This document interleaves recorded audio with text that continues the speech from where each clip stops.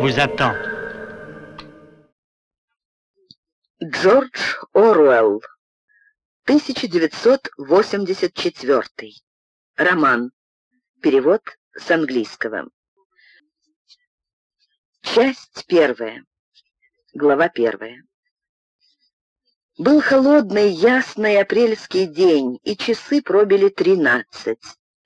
Уткнув подбородок в грудь, чтобы спастись от злого ветра, Уинстон Смит торопливо шмыгнул за стеклянную дверь жилого дома «Победа», но все-таки впустил за собой вихрь зернистой пыли. В вестибюле пахло вареной капустой и старыми половиками. Против входа на стене висел цветной плакат, слишком большой для помещения.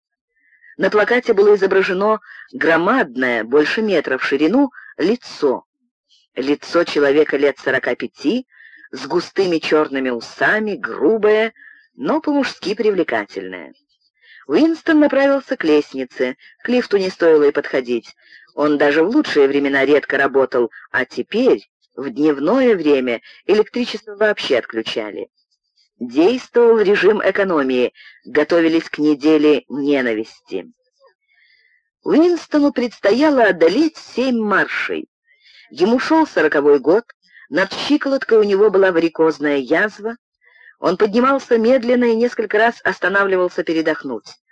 На каждой площадке со стены глядело все то же лицо. Портрет был выполнен так, что куда бы ты ни стал, глаза тебя не отпускали. «Старший брат смотрит на тебя», — гласила подпись. В квартире сочный голос что-то говорил о производстве чугуна, зачитывал цифры. Голос шел из заделанной в правую стену продолговатой металлической пластины, похожей на мутное зеркало.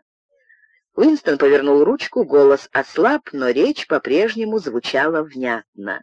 Аппарат этот, он назывался телекран, притушить было можно, полностью же выключить нельзя. Уинстон отошел к окну. Невысокий, тщедушный человек, он казался еще более щуплым в синем форменном комбинезоне партийца. Волосы у него были совсем светлые, а румяное лицо шелушилось от скверного мыла, тупых лезвий и холода, только что кончившейся зимы. Мир снаружи, за закрытыми окнами, дышал холодом. Ветер закручивал спиралями пыль и обрывки бумаги и хотя светило солнце, а небо было резко голубым, все в городе выглядело бесцветным, кроме расклеенных повсюду плакатов. С каждого заметного угла смотрело лицо Черноусова. С дома напротив тоже. «Старший брат смотрит на тебя», — говорила подпись, и темные глаза глядели в глаза Уинстону. Внизу, над тротуаром, Трепался на ветру плакат с оторванным углом, то пряча, то открывая единственное слово «Ангсоц». Вдалеке между крышами скользнул вертолет, завис на мгновение, как трупная муха, и по кривой унесся прочь. Это полицейский патруль заглядывал людям в окна, но патрули в счет не шли, в счет шла только полиция мыслей. За спиной Уинстона голос из телекрана все еще болтал о выплавке чугуна и перевыполнении девятого трехлетнего плана. Телекран работал на прием и на передачу. Он ловил каждое слово, если его произносили не слишком тихим шепотом. Мало того, покуда Уинстон оставался в поле зрения мутной пластины, он был не только слышен, но и виден. Конечно, никто не знал, наблюдают за ним в данную минуту или нет. Часто ли и по какому расписанию подключается к твоему кабелю полиция мыслей? Об этом можно было только гадать. Не исключено, что следили за каждым и круглые сутки. Во всяком случае, подключиться могли когда угодно. Приходилось жить, и ты жил по привычке, которая превратилась в инстинкт, с сознанием того, что каждое твое слово подслушивают, и каждое твое движение, пока не погас свет, наблюдают. Уинстон держался к телекрану спиной. Так безопаснее. Хотя он знал это, спина тоже выдает. В километре от его окна громоздилось над чумазым городом белое здание Министерства правды, место его службы. «Вот он со смутным отвращением», — подумал Уинстон, — «вот он, Лондон, главный город взлетной полосы один, третий по населению провинции государства Океания». Он обратился к детству, попытался вспомнить, всегда ли был таким Лондон. Всегда ли тянулись вдали эти вереницы обветшалых домов XIX века, подпертых бревнами, с залатанными картоном окнами, лоскутными крышами, пьяными стенками полисадников? И эти прогалины от бомбежек, где велась алебастровая пыль, и кипрей карабкался по грудам обломков и большие пустыри, где бомбы расчистили место для целой грибной семьи убогих дощатых хибарок, похожих на курятники. Но без толку вспомнить он не мог, ничего не осталось от детства, кроме отрывочных, ярко освещенных сцен, лишенных фона и чаще всего невразумительных. Министерство правды на Новоязе мини-прав разительно отличалась от всего, что лежало вокруг. Новояз — официальный язык Океании, а структуре его в приложении в конце романа. Это исполинское пирамидальное здание, сияющее белым бетоном, вздымалось уступ за уступом на трехсотметровую высоту. Из своего окна Уинстон мог прочесть на белом фасаде написанные элегантным шрифтом три партийных лозунга. «Война — это мир», «Свобода — это рабство», «Незнание — сила». По слухам, Министерство правды заключало в себе три тысячи кабинетов над поверхностью Земли и соответствующую корневую систему в недрах. В разных концах Лондона стояли лишь три еще здания подобного вида и размеров. Они настолько возвышались над городом, что с крыши жилого дома Победа можно было видеть все четыре разом. В них помещались четыре министерства, весь государственный аппарат, Министерство правды, ведавшее информацией, образованием, досугом и искусством, Министерство мира, ведавшее войной, Министерство любви, ведавшее охраной порядка, и Министерство изобилия, отвечавшее за экономику. На Новоязе мини-прав, мини-мир, мини-люб и мини-зо. Министерство любви внушало страх. В здании отсутствовали окна. Уинстон ни разу не переступал его порога, ни разу не подходил к нему ближе, чем на полкилометра. Попасть туда можно было только по официальному делу, да и то преодолев целый лабиринт колючей проволоки, стальных дверей и замаскированных пулеметных гнезд. Даже на улицах, ведущих к внешнему кольцу ограждений, патрулировали охранники в черной форме с лицами горилл, вооруженные суставчатыми дубинками. Винстон резко повернулся. Он придал лицу выражение спокойного оптимизма, наиболее уместное перед телекраном. Он прошел в другой конец комнаты, к крохотной кухоньке. Покинув в этот час министерство, он пожертвовал обедом в столовой, а дома никакой еды не было, кроме ломтя черного хлеба, который надо было поберечь до завтрашнего утра. Он взял с полки бутылку бесцветной жидкости, с простой белой этикеткой «Джин Победа». Запах у джина был противный, маслянистый, как у китайской рисовой водки. Уинстон налил почти полную чашку, собрался с духом и проглотил как лекарство. Лицо у него сразу покраснело, а из глаз потекли слезы. Напиток был похож на азотную кислоту. Мало того, после глотка ощущение было такое, будто тебя огрели по спине резиновой дубинкой. Но вскоре жжение в желудке утихло, а мир стал выглядеть веселее. Он вытянул сигарету из мятой пачки с надписью «Сигареты Победа», по рассеянности держа ее вертикально, В результате весь табак из сигареты высыпался на пол. Со следующей Уинстон обошелся аккуратнее. Он вернулся в комнату и сел за столик слева от телекрана.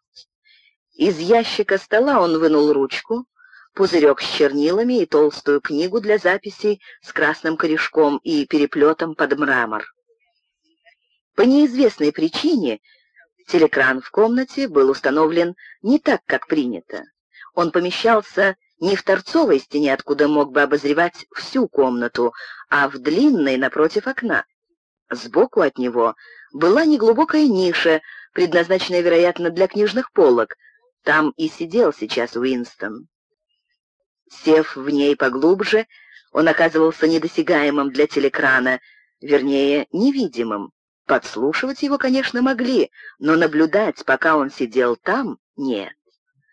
Эта несколько необычная планировка комнаты, возможно, и натолкнула его на мысль заняться тем, чем он намерен был сейчас заняться. Но, кроме того, натолкнула книга в мраморном переплете. Книга была удивительно красива. Гладкая кремовая бумага чуть пожелтела от старости. Такой бумаги не выпускали уже лет сорок, а то и больше. Уинстон подозревал, что книга еще древнее. Он приметил ее на витрине старьевщика в трущобном районе, где именно он уже забыл, и загорелся желанием купить. Членам партии не полагалось ходить в обыкновенные магазины. Это называлось приобретать товары на свободном рынке. Но запретом часто пренебрегали. Множество вещей, таких как шнурки и бритвенные лезвия, раздобыть иным способом было невозможно. Уинстон быстро оглянулся по сторонам, нырнул в лавку и купил книгу за 2 доллара 50. Зачем? Он сам еще не знал. Он воровато принес ее домой в портфеле. Даже пустая, она компрометировала владельца. Намеревался же он теперь начать дневник. Это не было противозаконным поступком. Противозаконного вообще ничего не существовало, поскольку не существовало больше самих законов. Но если дневник обнаружат, Уинстона ожидает смерть, или в лучшем случае 25 лет каторжного лагеря. Уинстон вставил в ручку перо и облизнул чтобы снять смазку. Ручка была архаическим инструментом. Ими даже расписывались редко, и Уинстон раздобыл свою тайком и не без труда. Эта красивая кремовая бумага, казалось, ему заслуживает того, чтобы по ней писали настоящими чернилами, а не корябали чернильным карандашом. Вообще-то он не привык писать рукой. Кроме самых коротких заметок, он все диктовал в речепис. Но тут диктовка, понятно, не годилась.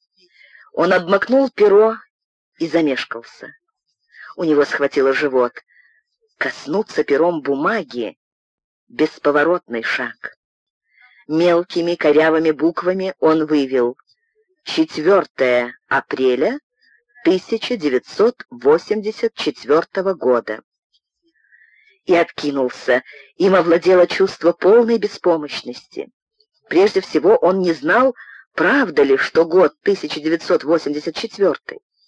Около этого, несомненно, он был почти уверен, что ему 39 лет, а родился он в 1944 или 45 но теперь невозможно установить никакую дату точнее, чем с ошибкой в год или два. А для кого, вдруг озадачился он, пишется этот дневник? Для будущего? Для тех, кто еще не родился? Мысль его покружила над сомнительной датой, записанной на листе, и вдруг наткнулась на новоязовское слово «двоемыслие». И впервые ему стал виден весь масштаб его затеи. С будущим как общаться? Это по самой сути невозможно. Либо завтра будет похоже на сегодня, и тогда не станет его слушать, либо оно будет другим, и невзгоды Уинстона ничего ему не скажут. Уинстон сидел, бессмысленно уставясь на бумагу. Из телекрана ударила резкая военная музыка. Любопытно. Он не только потерял способность выражать свои мысли, но даже забыл, что ему хотелось сказать. Сколько недель готовился он к этой минуте, и ему даже в голову не пришло, что потребуется тут не одна храбрость. Только записать, чего проще. Перенести на бумагу нескончаемый тревожный монолог, который звучит у него в голове годы, годы, и вот даже этот монолог иссяк а язва над щиколоткой зудела невыносимо. Он боялся почесать ногу, от этого всегда начиналось воспаление. Секунды капали. Только белизна бумаги, да зуд над щиколоткой, да гремучая музыка, да легкий хмель в голове — вот и все, что воспринимали сейчас его чувства. И вдруг он начал писать. Просто от паники, очень смутно сознавая, что идет из-под пера. Бисерные, но по-детски корявые строки ползли то вверх, то вниз по листу, теряя сперва заглавные буквы, а потом и точки. 4 апреля 1984 года. Вчера в кино. Сплошь военные фильмы. Один очень хороший где-то в Средиземном море бомбит судно с беженцами.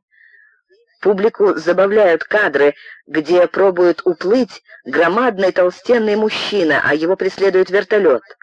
Сперва мы видим, как он по дельфинье бултыхается в воде, потом видим его с вертолета через прицел. Потом он весь продырявлен, и море вокруг него розовое и сразу тонет, словно через дыры набрал воды, когда он пошел на дно, зрители загоготали. Потом шлюпка, полная детей, и над ней вьется вертолет. Там на носу сидела женщина средних лет, похожая на еврейку, а на руках у нее мальчик лет трех. Мальчик кричит от страха и прячет голову у нее на груди, как будто хочет в нее ввинтиться, а она его успокаивает и прикрывает руками, хотя сама посинела от страха, все время старается закрыть его руками получше, как будто может заслонить от пуль. Потом вертолет сбросил на них двадцатикилограммовую бомбу. Ужасный взрыв, и лодка разлетелась в щепки. Потом замечательный кадр, детская рука летит вверх, вверх, прямо в небо. Наверное, ее снимали из стеклянного носа вертолета, и в партийных рядах громко аплодировали, но там, где сидели проллы, Какая-то женщина подняла скандал и крик, что этого нельзя показывать при детях, куда это годится, куда это годится при детях, и скандалила, пока полицейские не вывели, не вывели ее, вряд ли ей что-нибудь сделают, мало ли что говорят пролы. Типичная проловская реакция, на это никто не обращает. Уинстон перестал писать, отчасти из-за того, что у него свело руку. Он сам не понимал, почему выплеснул на бумагу этот вздор. Но любопытно, что пока он водил пером, в памяти у него отстоялось совсем другое происшествие. Да так, что хоть сейчас записывай. Ему стало понятно, что из-за этого происшествия он и решил вдруг пойти домой и начать дневник сегодня. Случилось оно утром в министерстве, если о такой туманности можно сказать, случилось. Время приближалось к 11.00, и в отделе документации, где работал Уинстон, сотрудники выносили стулья из кабин и расставляли в середине холла перед большим телекраном. Собирались на двухминутку ненависти.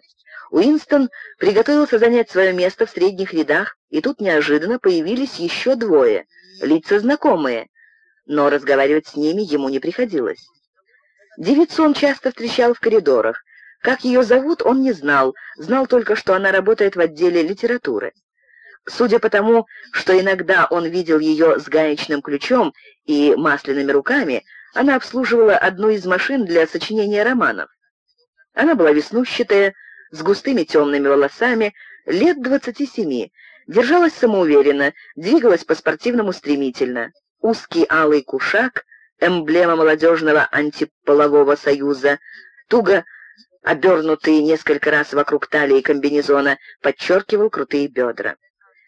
Уинстон с первого взгляда не взлюбил ее и знал за что. Вокруг нее витал дух хоккейных полей, холодных купаний, туристских вылазок и вообще правоверности. Он не любил почти всех женщин, в особенности молодых и хорошеньких. Именно женщины, и молодые в первую очередь, были самыми фанатичными приверженцами партии, глотателями лозунгов, добровольными шпионами и вынюхивателями ереси. А это казалось ему даже опаснее других. Однажды она повстречалась ему в коридоре, взглянула искоса, будто пронзила взглядом, и в душу ему вполз черный страх. У него даже мелькнуло подозрение, что она служит в полиции мыслей. Впрочем, это было маловероятно. Тем не менее, всякий раз, когда она оказывалась рядом, Уинстон испытывал неловкое чувство, к которому примешивались и враждебность, и страх. Одновременно с женщиной вошел О'Брайен, член внутренней партии, занимавший настолько высокий и удаленный пост, что Уинстон имел о нем лишь самое смутное представление. Увидев черный комбинезон члена внутренней партии, люди, сидевшие перед телекраном, на миг затихли. О'Брайен был рослый плотный мужчина с толстой шеей и грубым насмешливым лицом. Несмотря на грозную внешность, он был не лишен обаяния. Он имел привычку поправлять очки на носу, и в этом характерном жесте было что-то до странности обезоруживающее, что-то неуловимо интеллигентное. Дворянин XVIII века, предлагающий свою табакерку, вот что пришло бы на ум тому, кто еще способен был бы мыслить такими сравнениями. Лет за десять Уинстон видел О'Брайена, наверное, с десяток раз. Его тянуло к О'Брайену, но не только потому, что озадачивал этот контраст между воспитанностью и телосложением боксера-тяжеловеса. В глубине души Уинстон подозревал, а может быть не подозревал, а лишь надеялся, что О'Брайен политически не вполне правоверен. Его лицо наводило на такие мысли. Но опять-таки возможно, что на лице было написано не сомнение в догмах, а просто ум, так или иначе, он производил впечатление человека, с которым можно поговорить, если остаться с ним наедине и укрыться от телекрана. Уинстон ни разу не попытался проверить эту догадку, да и не в его это было силах. О'Брайен взглянул на свои часы, увидел, что время почти 11.00 и решил остаться на двухминутку ненависти в отделе документации. Он сел в одном ряду с Уинстоном, за два места от него. Между ними расположилась маленькая рыжеватая женщина, работавшая по соседству с Уинстоном. Темноволосая села прямо за ним. И вот из большого телекрана в стене вырвался отвратительный вой и скрежет, словно запустили какую-то чудовищную несмазанную машину. От этого звука вставали дыбом волосы и ломило зубы.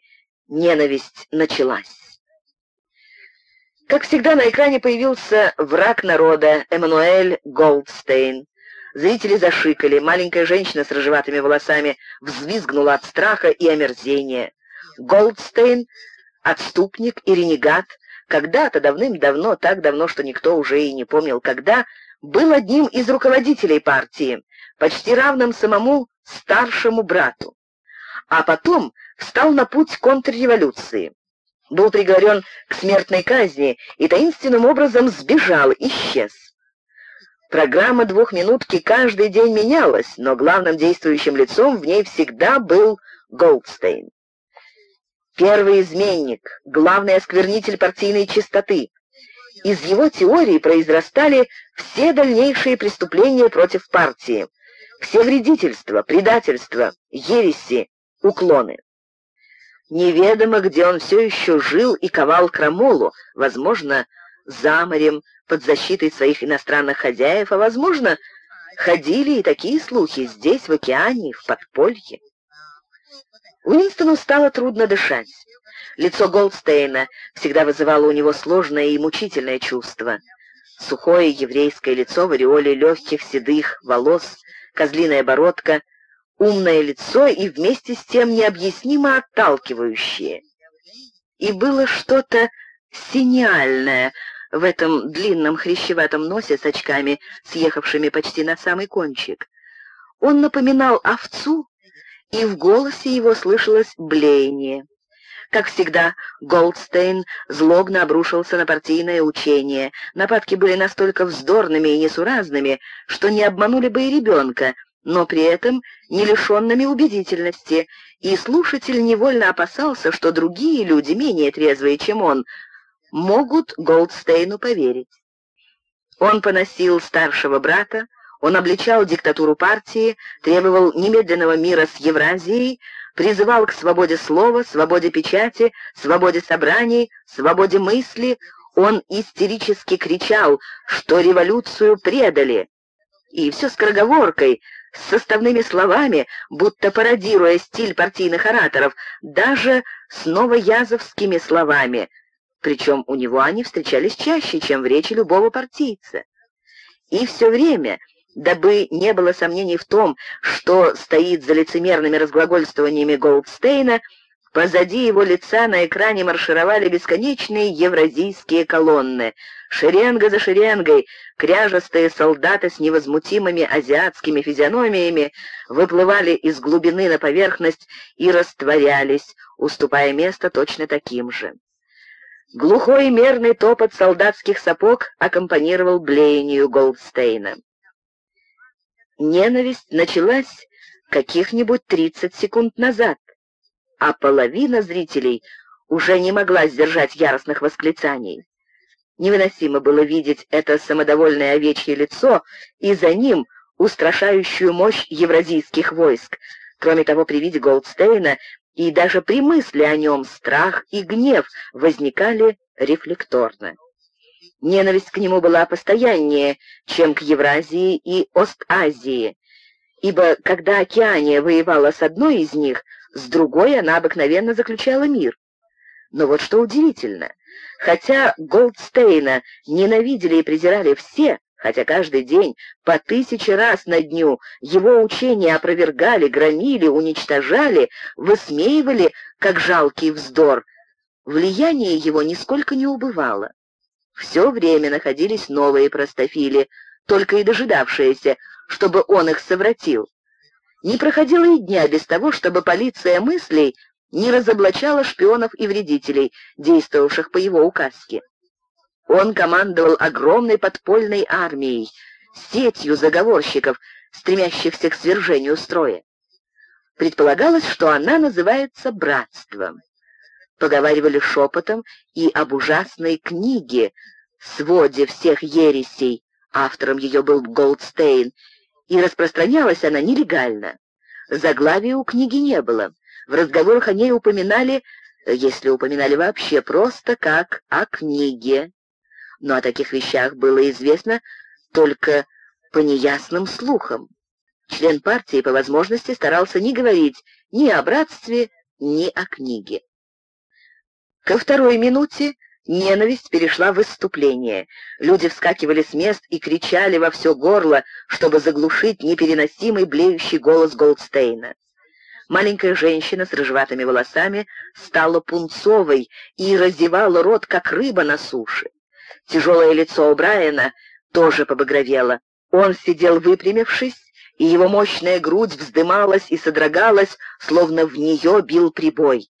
Темноволосая девица позади Уинстона закричала «Подлец! Подлец! Подлец!», а потом схватила тяжелый словарь новояза и запустила им в телекран. Словарь угодил Голдстейну в нос и отлетел, но голос был неистребим. В какой-то миг просветления Уинстон осознал, что сам кричит вместе с остальными и яростно легает перекладину стула. Ужасным в двухминутке ненависти было не то, что ты должен разыгрывать роль, а то, что ты просто не мог остаться в стороне. Какие-нибудь тридцать секунд, и притворяться тебе уже не надо. Словно от электрического разряда нападали на все собрание гнусные корчи страха и мстительности, иступленное желание убивать, терзать, крушить лица молотом. Люди гримасничали и вопили, превращались в сумасшедших. При этом ярость была абстрактной и ненацеленной. Ее можно было повернуть в любую сторону, как пламя паяльной лампы. И вдруг оказывалось, что ненависть Уинстона обращена вовсе не на Голдстейна, а наоборот, на старшего брата, на партию, на полицию мыслей.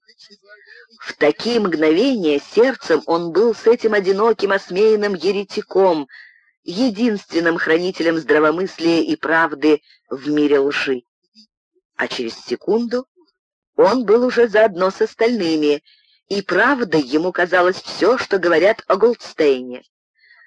Тогда тайное отвращение к старшему брату превращалось в обожание, и старший брат возносился над всеми, неуязвимый, бесстрашный защитник, скалою вставший перед азийскими ордами. А Голдстейн, несмотря на его изгойство и беспомощность, несмотря на сомнения в том, что он вообще еще жив, представлялся зловещим колдуном, способным одной только силой голоса разрушить здание цивилизации а иногда можно было, напрягшись, сознательно обратить свою ненависть на тот или иной предмет. Каким-то бешеным усилием воли, как отрываешь голову от подушки во время кошмара, Уинстон переключил ненависть с экранного лица на темноволосую девицу позади. В воображении замелькали прекрасные отчетливые картины — он забьет ее резиновой дубинкой, голову привяжет к столбу и стычет стрелами, как святого Себастьяна, изнасилует и в последних судорогах перережет глотку. И яснее, чем прежде он понял, за что ее ненавидит, за то, что молодая, красивая и бесполая, за то, что он хочет с ней спать и никогда этого не добьется, за то, что на нежной тонкой талии, будто созданной для того, чтобы ее обнимали, не его рука, а этот алый кушак, воинствующий символ непорочности. Ненависть кончалась в судорогах. Речь Голдстейна превратилась в натуральное блеяние, а его лицо на миг вытеснило овечья морда. Потом морда растворилась в евразийском солдате. Огромный и ужасный он шел на них, поля из автомата, грозя прорвать поверхность экрана, так что многие отпрянули на своих стульях, но тут же с облегчением вздохнули. Фигуру врага заслонила наплывом голова старшего брата, черноволосая, черноусая, полная силы и таинственного спокойствия, такая огромная, что заняла почти весь экран. Что говорит старший брат, никто не расслышал. Всего несколько слов ободрения, вроде тех, которые произносит вождь в громе битвы. Сами по себе, пускай невнятные, они вселяют уверенность одним тем, что их произнесли. Потом лицо старшего брата потускнело, и выступила четкая крупная надпись. Три партийных лозунга. «Война — это мир», «Свобода — это рабство», «Незнание сила. Но еще несколько мгновений лицо старшего брата как бы держалось на экране. Так ярок был отпечаток, оставленный им в глазу, что не мог стереться сразу. Маленькая женщина с рыжеватыми волосами навалилась на спинку переднего стула, всхлипывающим шепотом она произнесла что-то вроде «Спаситель мой» и простерла руки к телекрану. Потом закрыла лицо ладонями, по-видимому, она молилась. Тут все собрание принялось медленно, мерно, низкими голосами скандировать «СБ, СБ, СБ», снова и снова в растяжку с долгой паузой между «С» и «Б» и было в этом тяжелом, волнообразном звуке что-то странно первобытное, мерещился за ним топот босых ног и рокот больших барабанов. Продолжалось это с полминуты. Вообще, такое нередко происходило в те мгновения, когда чувства достигали особенного накала. Отчасти это был гимн величию и мудрости старшего брата, но в большей степени самогипноз. Люди топили свой разум в ритмическом шуме. Уинстон ощутил холод в животе. На двух минутках ненависти он не мог не отдаваться всеобщему безумию, но этот дикарский клич «СБ! СБ!» всегда внушал ему ужас.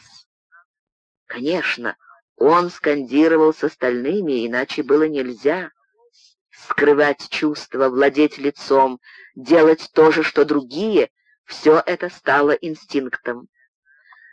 Но был такой промежуток секунды в две, когда его вполне могло выдать выражение глаз. Как раз в это время и произошло удивительное событие. Если вправду произошло.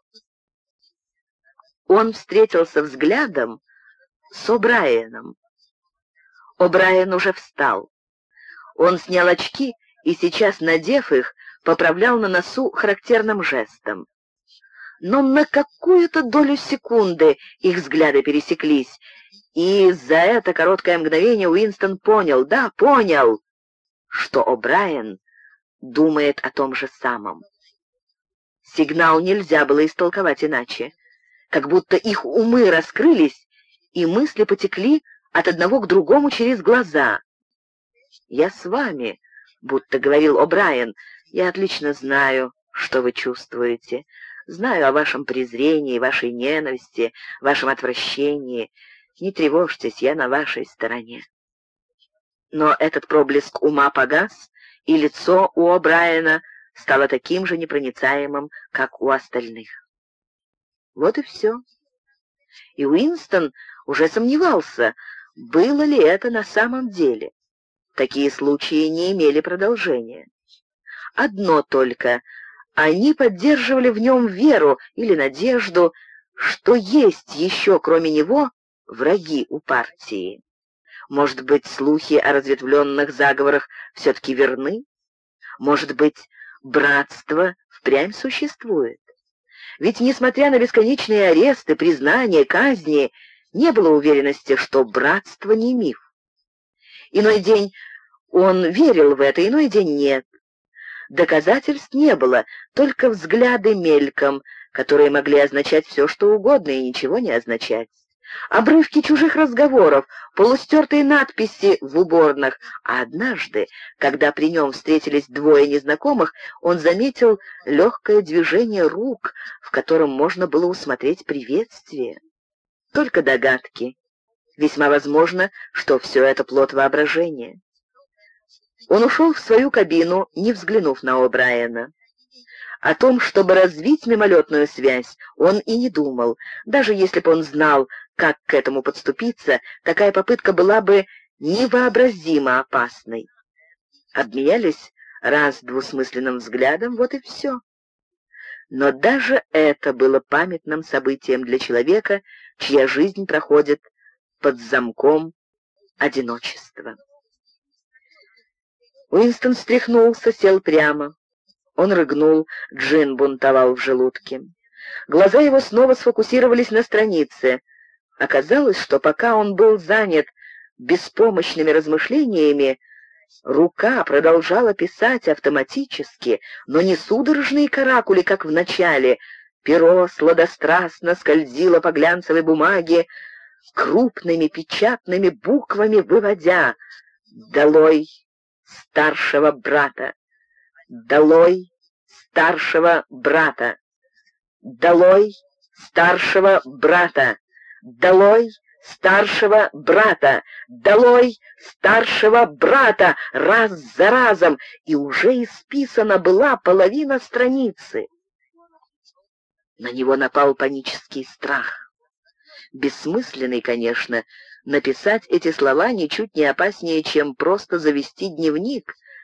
Тем не менее, у него возникло искушение разорвать испорченные страницы и отказаться от своей затеи совсем. Но он не сделал этого. Он знал, что это бесполезно. Напишет он долой старшего брата или не напишет, разницы никакой. Будет продолжать дневник или не будет, разницы никакой. Полиция мыслей и так, и так до него доберется.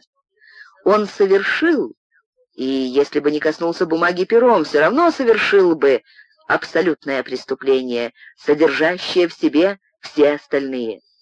Мысли преступления, вот как оно называлось. Мысли преступления нельзя скрывать вечно. Изворачиваться какое-то время ты можешь, и даже не один год, но рано или поздно до тебя доберутся. Бывало это всегда по ночам, арестовывали по ночам. Внезапно будет, грубая рука трясет тебя за плечи, светят в глаза, кровать окружили суровые лица. Как правило, суда не бывало, об аресте нигде не сообщалось. Люди просто исчезали, и всегда ночью. Твое имя вынуто из списков, все упоминания о том, что ты делал, стерты, факт твоего существования отрицается и будет забыт. Ты отменен, уничтожен, как принято говорить, распылен. На минуту он поддался истерике, торопливыми кривыми буквами стал писать. «Меня расстреляют, мне все равно, пускай выстрелят в затылок, мне все равно, долой старшего брата, всегда стреляют в затылок, мне все равно, долой старшего брата». С легким стыдом он оторвался от стола и положил ручку. И тут же вздрогнул всем телом, постучали в дверь. Уже. Он затаился, как мышь, в надежде, что, не достучавшись с первого раза, они уйдут. Но нет, стук повторился. Самое скверное тут мешкать. Его сердце бухало, как барабан, но лицо от долгой привычки, наверное, осталось невозмутимым. Он встал и с трудом пошел к двери. Глава вторая. Уже взявшись за дверную ручку, Уинстон увидел, что дневник остался на столе раскрытым, весь в надписях «Долой старшего брата», до таких крупных, что можно разглядеть с другого конца комнаты. Непостижимая глупость. «Нет», — сообразил он, — жалко стало пачкать кремовую бумагу, даже в панике не захотел захлопнуть дневник на непросохшей странице. Он вздохнул и отпер дверь. И сразу по телу прошла теплая волна облегчения. На пороге стояла бесцветная подавленная женщина с жидкими растрепанными волосами и морщинистым лицом. «Ой, товарищ!» — скулящим голосом завела она. «Значит, правильно мне послышалось, что вы пришли. Вы не можете зайти посмотреть нашу раковину в кухне. Она засорилась, а...» Это была миссис Парсонс, жена соседа по этажу. Партия не вполне одобряла слово «миссис», всех полагалось называть товарищами, но с некоторыми женщинами это почему-то не получалось. Ей было лет тридцать, но выглядела она гораздо старше. Впечатление было такое, что в морщинах ее лица лежит пыль. Уинстон пошел за ней по коридору. Этой слесарной самодеятельностью он занимался чуть ли не ежедневно. Дом Победа был старой постройки, года 1930 или около того, и пришел в полный упадок. От стены потолка постоянно отваливалась штукатурка, трубы лопались при каждом крепком морозе, крыша текла, стоило только выпасть снегу, отопительная система работала на половинном давлении, если ее не выключали совсем из соображения экономии. Для ремонта, которого ты не мог сделать сам, требовалось распоряжение высоких комиссий, а они и с починкой разбитого окна тянули два года. Конечно, если бы Том был дома, неуверенно сказала миссис Парсонс. Квартира у Парсонсов была больше, чем у него, и убожество ее было другого рода. Все вещи выглядели потрепанными и потоптанными, как будто сюда наведалось большое и злое животное. По полу были разбросаны спортивные принадлежности, хоккейные клюшки, боксерские перчатки, дырявый футбольный мяч. пропотевшие и вывернутые наизнанку трусы, а на столе вперемешку с грязной посудой валялись мятые тетради. На стенах алые знамена молодежного союза и разведчиков и плакат уличных размеров со старшим братом. Как и во всем доме, здесь витал душок вареной капусты, но его перешибал крепкий запах пота, оставленный, это можно было угадать с первой понюшки, хотя и непонятно по какому признаку, человеком, в данное время отсутствующим. В другой комнате кто-то на гребенке пытался подыгрывать телекрану, все еще передававшему военную музыку. «Это дети», — пояснила миссис Парсонс, бросив несколько опасливый взгляд на дверь. «Они сегодня дома, и, конечно...» Она часто обрывала фразы наполовине. Кухонная раковина была почти до краев полна грязной зеленоватой водой, пахшей еще хуже капусты. Уинстон опустился на колени и осмотрел угольник на трубе. Он терпеть не мог ручного труда, и не любил нагибаться. От этого начинался кашель. Миссис Парсонс беспомощно наблюдала. «Конечно, если бы Том был дома, он бы в два счета прочистил», — сказала она. «Том обожает такую работу, у него золотые руки у Тома». Парсонс работал вместе с Уинстоном в Министерстве правды. Это был толстый, но деятельный человек, ошеломляюще глупый, сгусток слабоумного энтузиазма, один из тех преданных, невопрошающих работяг, которые подпирали собой партию надежнее, чем полиция мыслей. В возрасте 35 лет он неохотно покинул ряды молодежного союза. Перед тем же, как поступить туда, он умудрился пробыть в разведчиках на год дольше положенного. В министерстве он занимал мелкую должность, которая не требовала умственных способностей, зато был одним из главных деятелей спортивного комитета и разных других комитетов, отвечавших за организацию туристских вылазок, стихийных демонстраций, кампаний по экономии и прочих добровольных начинаний. Со скромной гордостью он сообщал о себе, попыхивая трубкой, что за четыре года не пропустил в общественном центре ни единого вечера сокрушительный запах пота, как бы нечаянный спутник многотрудной жизни, сопровождал его повсюду и даже оставался после него, когда он уходил. «У вас есть гаечный ключ?» — спросил Уинстон, пробуя гайку на соединении. «Гаечный?» — сказала миссис Парсонс, слабее на глазах. «Правда, не знаю, может быть, дети...» Раздался топот, еще раз взревела гребенка, и в комнату ворвались дети. Миссис Парсонс принесла ключ. Уинстон спустил воду и с отвращением извлек из трубы клок волос. Потом, как мог, отмыл пальцы под холодной струей и перешел в комнату. «Руки вверх!» — гаркнули ему. Красивый девятилетний мальчик с суровым лицом вынырнул из-за стола, нацелив на него игрушечный автоматический пистолет, а его сестра, года на два моложе, нацелилась деревяшкой. Оба были в форме разведчиков, синие трусы, серая рубашка и красный галстук. Уинстон поднял руки, но с неприятным чувством. Чересчур уж злобно держался мальчик. Игра была не совсем понарошку. «Ты изменник!» — завопил мальчик. «Ты мыслепреступник! Ты евразийский шпион! Я тебя расстреляю!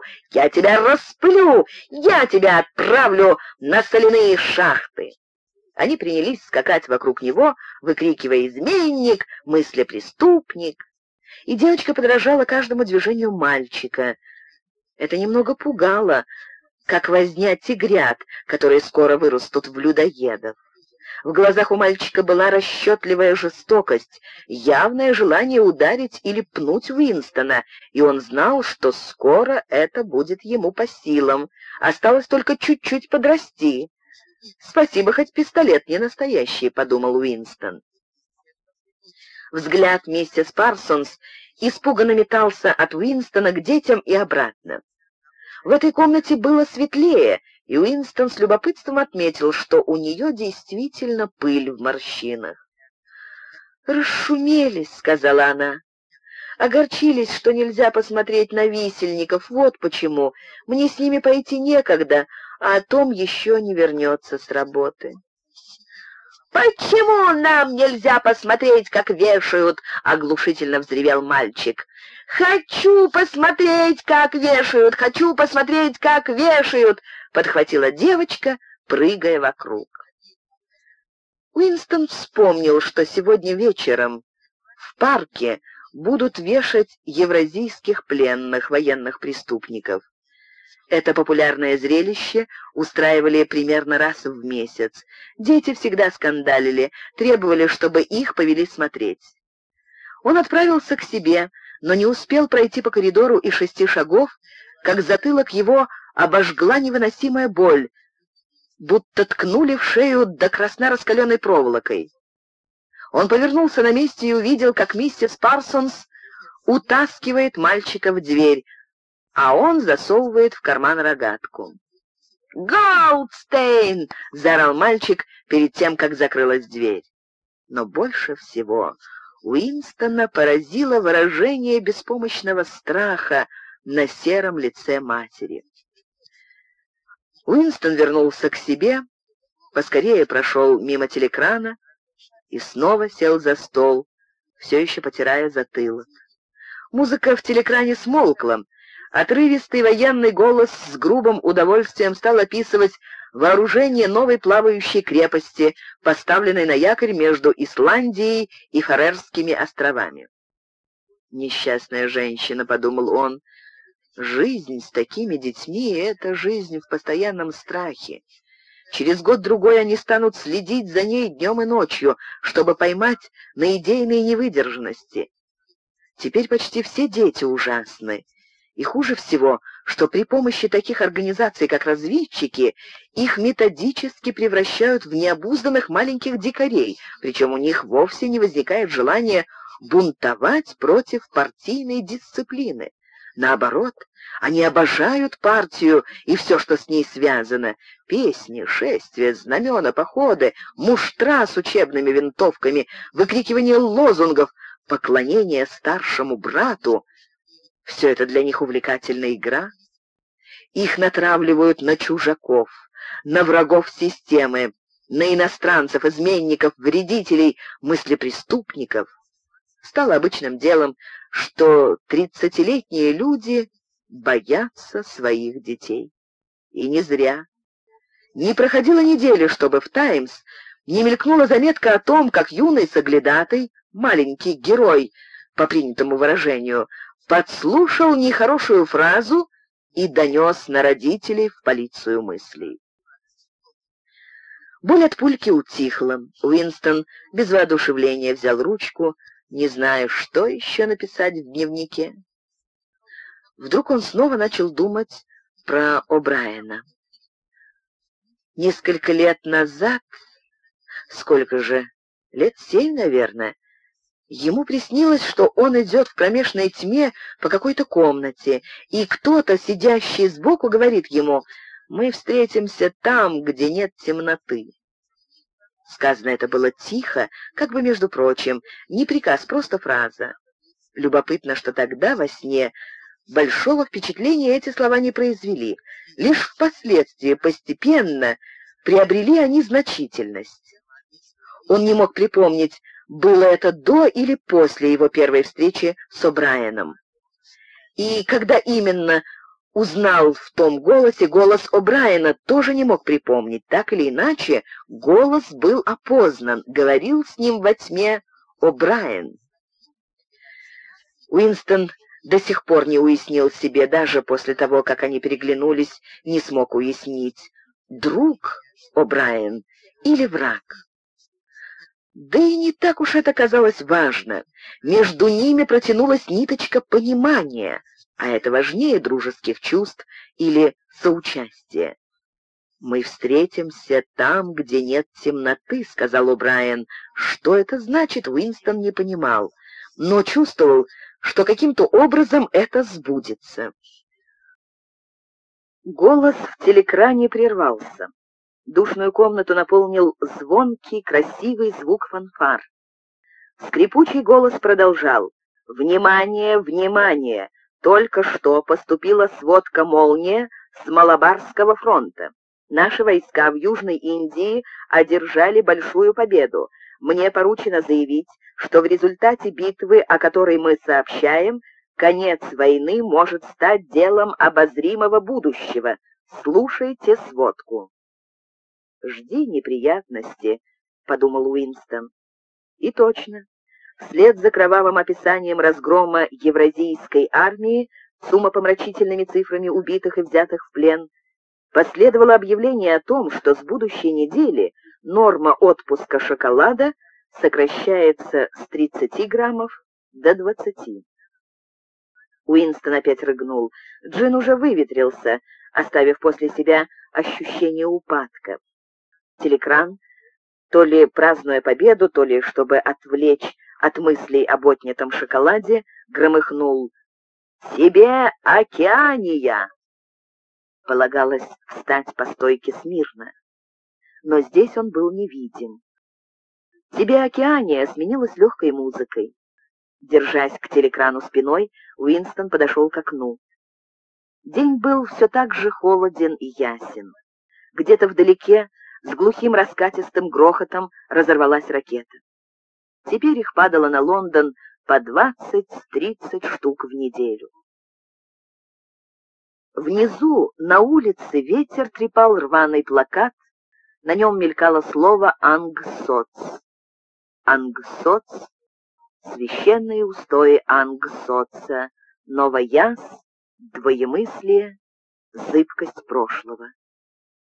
У него возникло такое чувство, как будто он бредет по лесу на океанском дне, заблудился в мире чудищ, и сам он чудище. Он был один. Прошлое умерло, будущее нельзя вообразить. Есть ли какая-нибудь уверенность, что хоть один человек из живых на его стороне?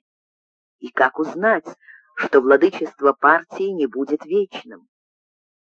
И ответом встали перед его глазами три лозунга на белом фасаде Министерства правды «Война — это мир», «Свобода — это рабство», «Незнание — сила». Он вынул из кармана двадцатипятицентовую монету. И здесь мелкими четкими буквами те же лозунги, а на оборотной стороне — голова старшего брата. Даже с монеты преследовал тебя его взгляд на монетах, на марках, на книжных обложках, на знаменах, плакатах, на сигаретных пачках, повсюду. Всюду тебя преследуют эти глаза и обволакивает голос. Во сне и наяву, на работе и за едой, на улице и дома, в ванной, в постели нет спасения, нет ничего твоего, кроме нескольких кубических сантиметров в черепе. Солнце ушло, погасив тысячи окон на фасаде министерства. И теперь они глядели угрюмо, как крепостные бойницы. Сердце у него сжалось при виде исполинской пирамиды. Слишком прочна она, ее нельзя взять штурмом. Ее не разрушит и тысяча ракет. Он снова спросил себя, для кого пишет дневник? Для будущего? Для прошлого? Для века, быть может, просто воображаемого, и ждет его не смерть, а уничтожение. Дневник превратят в пепел, а его в пыль. Написанное им прочтет только полиция мыслей, чтобы стереть с лица земли и из памяти. Как обратишься к будущему, если следа твоего и даже безымянного слова на земле не сохранится? Телекран пробил 14. Через 10 минут ему уходить. В 14.30 он должен быть на службе. Как ни странно, бой часов словно вернул ему мужество. Одинокий призрак, он возвещает правду, которой никто никогда не расслышит. Но пока он говорит ее, что-то в мире не прервется. Не тем, что заставишь себя услышать, а тем, что он остался нормальным, хранишь ты наследие человека. Он вернулся за стол, обмакнул перо и написал. «Будущему или прошлому времени, когда мысль свободна, люди отличаются друг от друга и живут не в одиночку, времени, где правда есть правда, и былое не превращается в небыль. От эпохи одинаковых, эпохи одиноких, от эпохи старшего брата, от эпохи двоемыслия привет. «Я уже мертв», — подумал он. Ему казалось, что только теперь, вернув себе способность выражать мысли, сделал он бесповоротный шаг. Последствия любого поступка содержатся в самом поступке. Он написал, «Мысли преступления не влечет за собой смерть. Мысли преступления есть смерть». Теперь, когда он понял, что он мертвец, важно прожить как можно дольше. Два пальца на правой руке были в чернилах. Вот такая мелочь тебя и выдаст. Какой-нибудь востроносый ретивец в министерстве, скорее женщина, хотя бы та маленькая с рыжеватыми волосами или темноволосая из отдела литературы, задумается, почему это он писал в обеденный перерыв, и почему писал старинной ручкой, и что писал, а потом сообщит, куда следует. Он отправился в ванную и тщательно отмыл пальцы зернистым коричневым мылом, которое скребло, как наждак, и отлично годилось для этой цели. Дневник он положил в ящик стола. Прячь, не прячь, его все равно найдут. Но можно хотя бы проверить, узнали о нем или нет. Волос поперек обреза слишком заметен. Кончиком пальца Уинстон подобрал крупинку белесой пыли и положил на угол переплета. Если книгу тронут, крупинка свалится.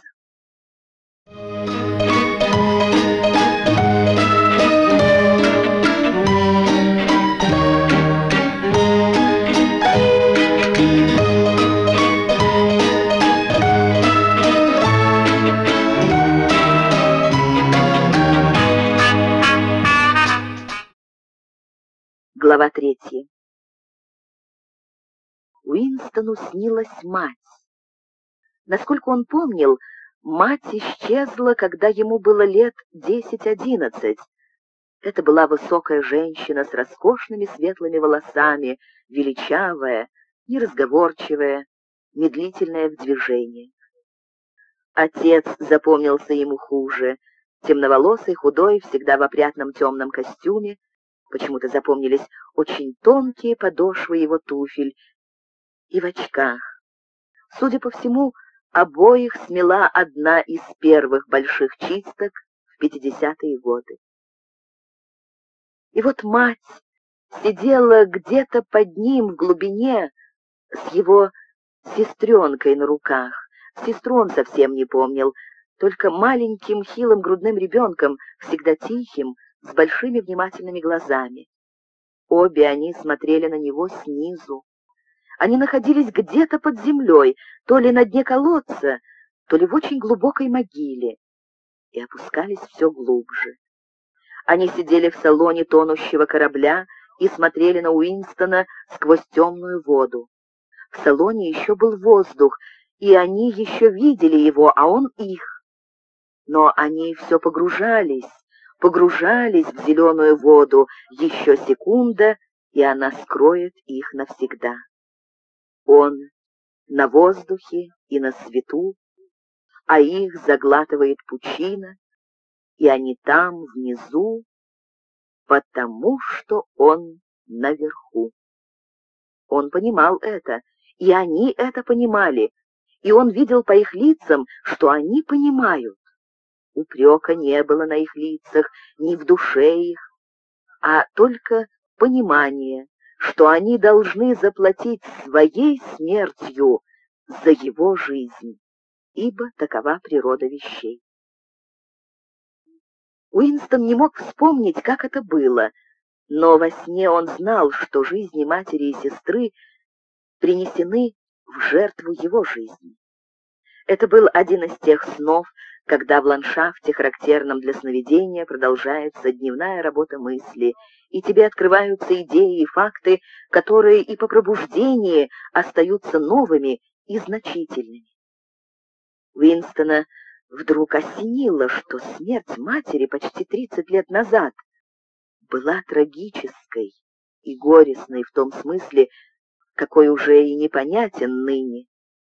Трагедия открылась ему достояние старых времен, времен, когда еще существовала личная, существовала любовь и дружба, и люди в семье стояли друг за друга, не нуждаясь для этого в доводах.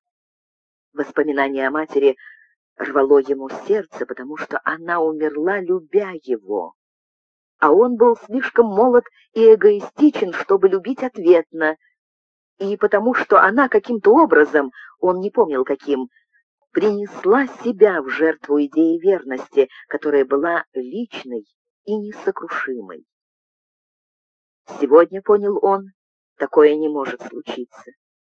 Сегодня есть страх, ненависть и боль, но нет достоинства чувств, нет ни глубокого, ни сложного горя. Все это он словно прочел в больших глазах матери, которые смотрели на него из зеленой воды с глубины сотни саженей и все еще погружались. Вдруг он очутился на короткой упругой травке, и был летний вечер, и косые лучи солнца золотили землю. Местность эта так часто появлялась в снах, что он не мог определенно решить, видел ее когда-нибудь наяву или нет. Про себя Уинстон называл ее «золотой страной». Это был старый выщипанный кроликами луг, по нему бежала тропинка, там и сям виднелись кротовые кочки.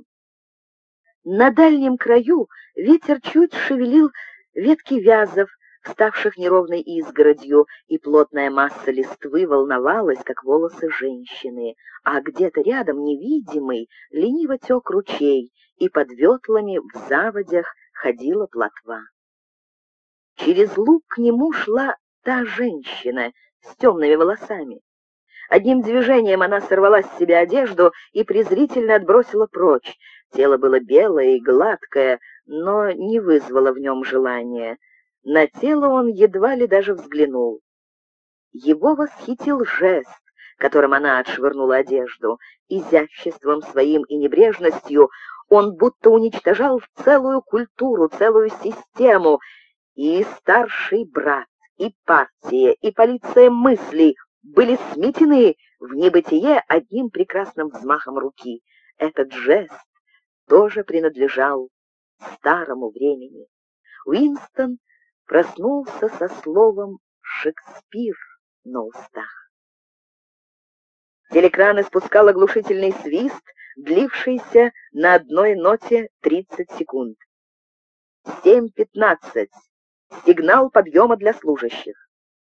Уинстон выдрался из постели нагишом, потому что члену внешней партии выдавали в год всего три тысячи одежных талонов, а пижама стоила шестьсот, и схватил со стула выношенную фуфайку и трусы.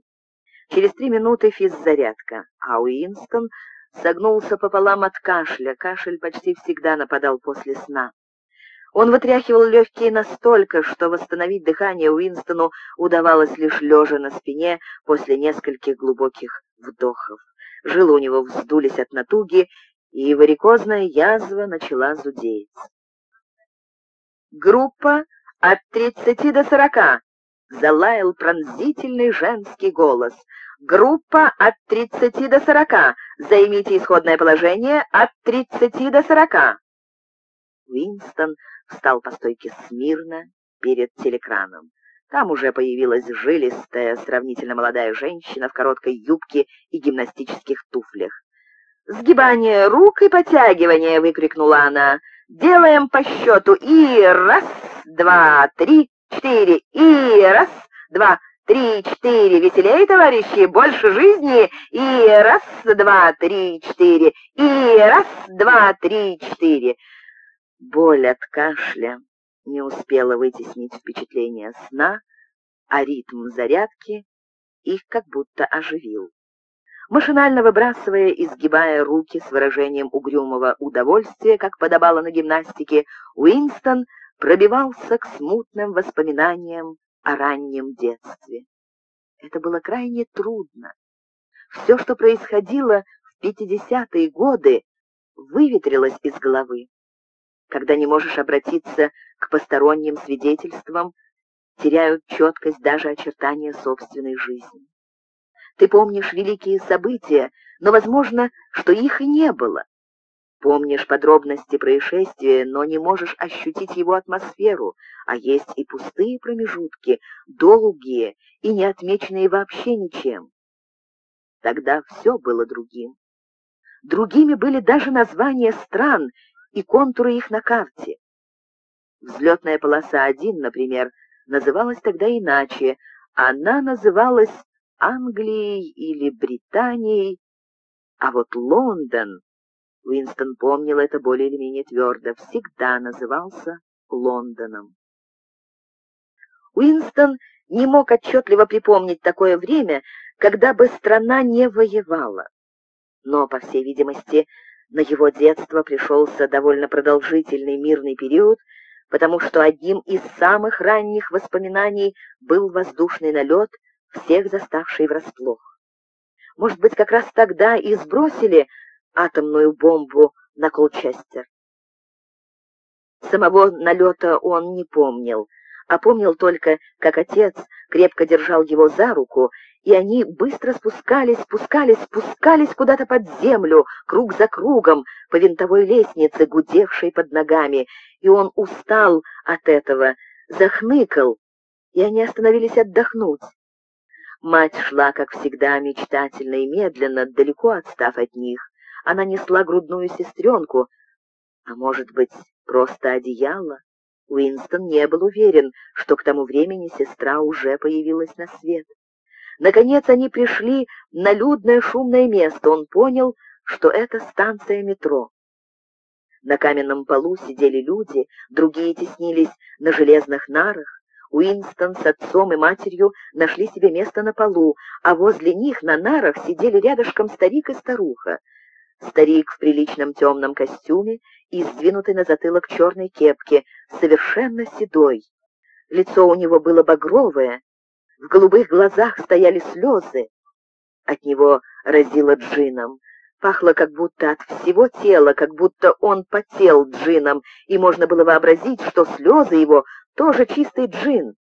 Пьяненький был старик, но весь его вид выражал неподдельное и нестерпимое горе. Уинстон детским своим умом догадался, что с ним произошла ужасная беда, и ее нельзя простить и нельзя исправить. Он даже понял, какая. У старика убили любимого человека, может быть, маленькую внучку. Каждые две минуты старик повторял, «Не надо было им верить, ведь говорил я, мать, говорил, вот что значит им верить. Я всегда говорил, нельзя было верить этим стервецам. Но что это за стервецы, которым нельзя было верить, Уинстон уже не помнил. С тех пор война продолжалась беспрерывно. Хотя, строго говоря, не одна и та же война. Несколько месяцев, опять же в его детские годы, шли беспорядочные уличные бои в самом Лондоне, и кое-что помнилось очень живо. Но проследить историю тех лет, определить, кто с кем и когда сражался, было совершенно невозможно. Ни единого письменного документа, ни единого устного слова об иной расстановке сил, чем нынешняя. Нынче, к примеру, в 1984 году если год 1984, Океания воевала с Евразией и состояла в союзе с Остазией. Ни публично, ни с глазу на глаз никто не упоминал о том, что в прошлом отношения трех держав могли быть другими. Уинстон прекрасно знал, что на самом деле Океания воюет с Евразией и дружит с Остазией, всего четыре года, но знал украдкой, и только потому, что его памятью не вполне управляли. Официально союзник и враг никогда не менялись. Океания воюет с Евразией, следовательно, Океания всегда воевала с Евразией. Нынешний враг всегда воплощал в себе абсолютное зло, а значит ни в прошлом, ни в будущем соглашение с ним немыслимо. Самое ужасное, в сотый, тысячный раз думал он, переламываясь в поясе. Сейчас они вращали корпусом, держа руки на бедрах, считалось полезным для спины. Самое ужасное, что все это может оказаться правдой. Если партия может запустить руку в прошлое и сказать о том или ином событии, что его никогда не было, это пострашнее, чем пытка или смерть. Партия говорит, что Океания никогда не заключала союза с Евразией. Он, Уинстон Смит, знает, что Океания была в союзе с Евразией всего четыре года назад. Но где хранится это знание? Только в его уме, а он так или иначе скоро будет уничтожен. И если все принимают ложь, навязанную партией, если во всех документах одна и та же песня, тогда эта ложь поселяется в истории и становится правдой. «Кто управляет прошлым?» — гласит партийный лозунг. «Тот управляет будущим. Кто управляет настоящим, тот управляет прошлым». И однако прошлое, по природе своей изменяемое, изменению никогда не подвергалась. То, что истинно сейчас, истина от века и навеки вечные. Все очень просто. Нужна всего-навсего непрерывная цепь побед над собственной памятью. Это называется покорение действительности. На новоязе двоемыслие. «Вольно!» — рявкнула преподавательница чуть добродушнее. Уинстон опустил руки и сделал медленный глубокий вдох. Ум его забрел в лабиринты двоемыслия. Зная не знать, верить в свою правдивость, излагая обдуманную ложь, придерживаться одновременно двух противоположных мнений, понимая, что одно исключает другое, и быть убежденным в обоих, логикой убивать логику отвергать мораль, провозглашая ее, полагать, что демократия невозможна и что партия — блюститель демократии, забыть то, что требуется забыть, и снова вызвать в памяти, когда это понадобится, и снова немедленно забыть, и, главное, применять этот процесс к самому процессу, вот в чем самая тонкость. Сознательно преодолевать сознание и при этом не сознавать, что занимаешься самогипнозом. И даже слово «двоемыслие» не поймешь, не прибегнув к двоемыслию. Преподавательница велела им снова встать смирно. «А теперь посмотрим, кто у нас сумеет достать до носков», — с энтузиазмом сказала она. «Прямо с бедер, товарищи! Раз-два! Раз-два!» Уинстон ненавидел это упражнение. Ноги от ягодиц до пяток пронзало болью, и от него нередко начинался припадок кашля. Приятная грусть из его размышлений исчезла. Прошлое, — подумал он, — не просто было изменено, оно уничтожено. Ибо как ты можешь установить даже самый очевидный факт, если он не запечатлен нигде, кроме как в твоей памяти? Он попробовал вспомнить, когда услышал впервые о старшем брате, кажется, в шестидесятых. Но разве теперь вспомнишь? В истории партии старший брат, конечно, фигурировал как вождь революции с самых первых ее дней. Подвиги его постепенно отодвигались все дальше вглубь времен и простерлись уже в легендарный мир сороковых и тридцатых, когда капиталисты в диковинных шляпах цилиндрах еще разъезжали по улицам Лондона в больших лакированных автомобилях и конных экипажах со стеклянными боками. Неизвестно, сколько правды в этих сказаниях и сколько вымысла. Уинстон не мог вспомнить даже, когда появилась сама партия. Кажется, слово «ангсоц» он тоже не слышал до 1960 года, хотя возможно, что в староязычной форме английский социализм, оно имело хождение и раньше. Все растворяется в тумане. Впрочем, иногда можно поймать и явную ложь. Неправда, например, что партия изобрела самолет, как утверждают книги по партийной истории. Самолеты он помнил с самого раннего детства, но доказать ничего нельзя. Никаких свидетельств не бывает. Лишь один раз в жизни держал он в руках неопровержимое документальное доказательство подделки исторического факта, да и то «Смит!» — раздался сварливый окрик. «Шестьдесят семьдесят девять, Смит У!» «Да вы! Глубже наклон, вы ведь можете, вы не стараетесь, ниже. Так уже лучше, товарищ, а теперь вся группа вольна и следите за мной». Уинстона прошиб горячий пот. Лицо его оставалось совершенно невозмутимым. Не показать тревоги, не показать возмущения, только моргни глазом, и ты себя выдал. Он наблюдал, как преподавательница вскинула руки над головой и, не сказать, что грациозно, но с завидной четкостью и сноровкой, нагнувшись, зацепилась пальцами за носки туфель. «Вот так, товарищи, покажите мне, что вы можете так же...» «Посмотрите еще раз. Мне 39 лет, и у меня четверо детей, прошу смотреть». Она снова нагнулась. «Видите, у меня колени прямые». Вы все можете так сделать, если захотите», — добавила она, выпрямившись. «Все, кому нет сорока пяти, способны дотянуться до носков.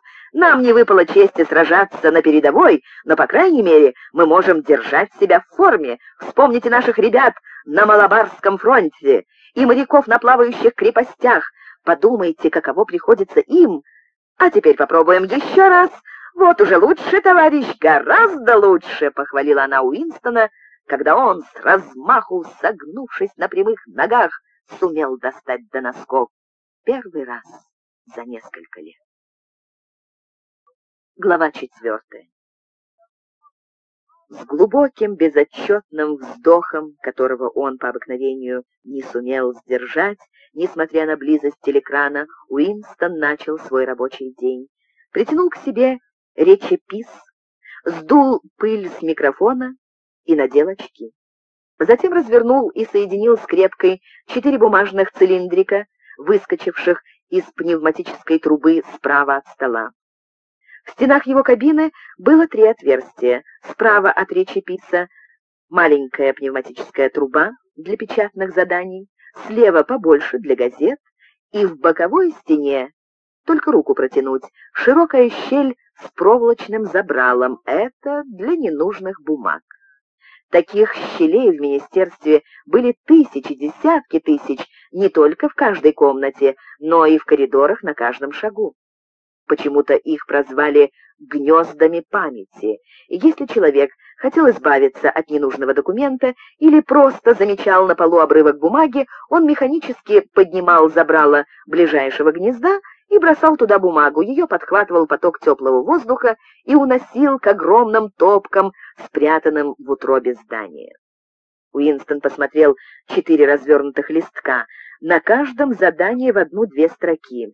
На телеграфном жаргоне, который не был по существу новоязом, но состоял из новоязовских слов и служил в министерстве только для внутреннего употребления. Задания выглядели так.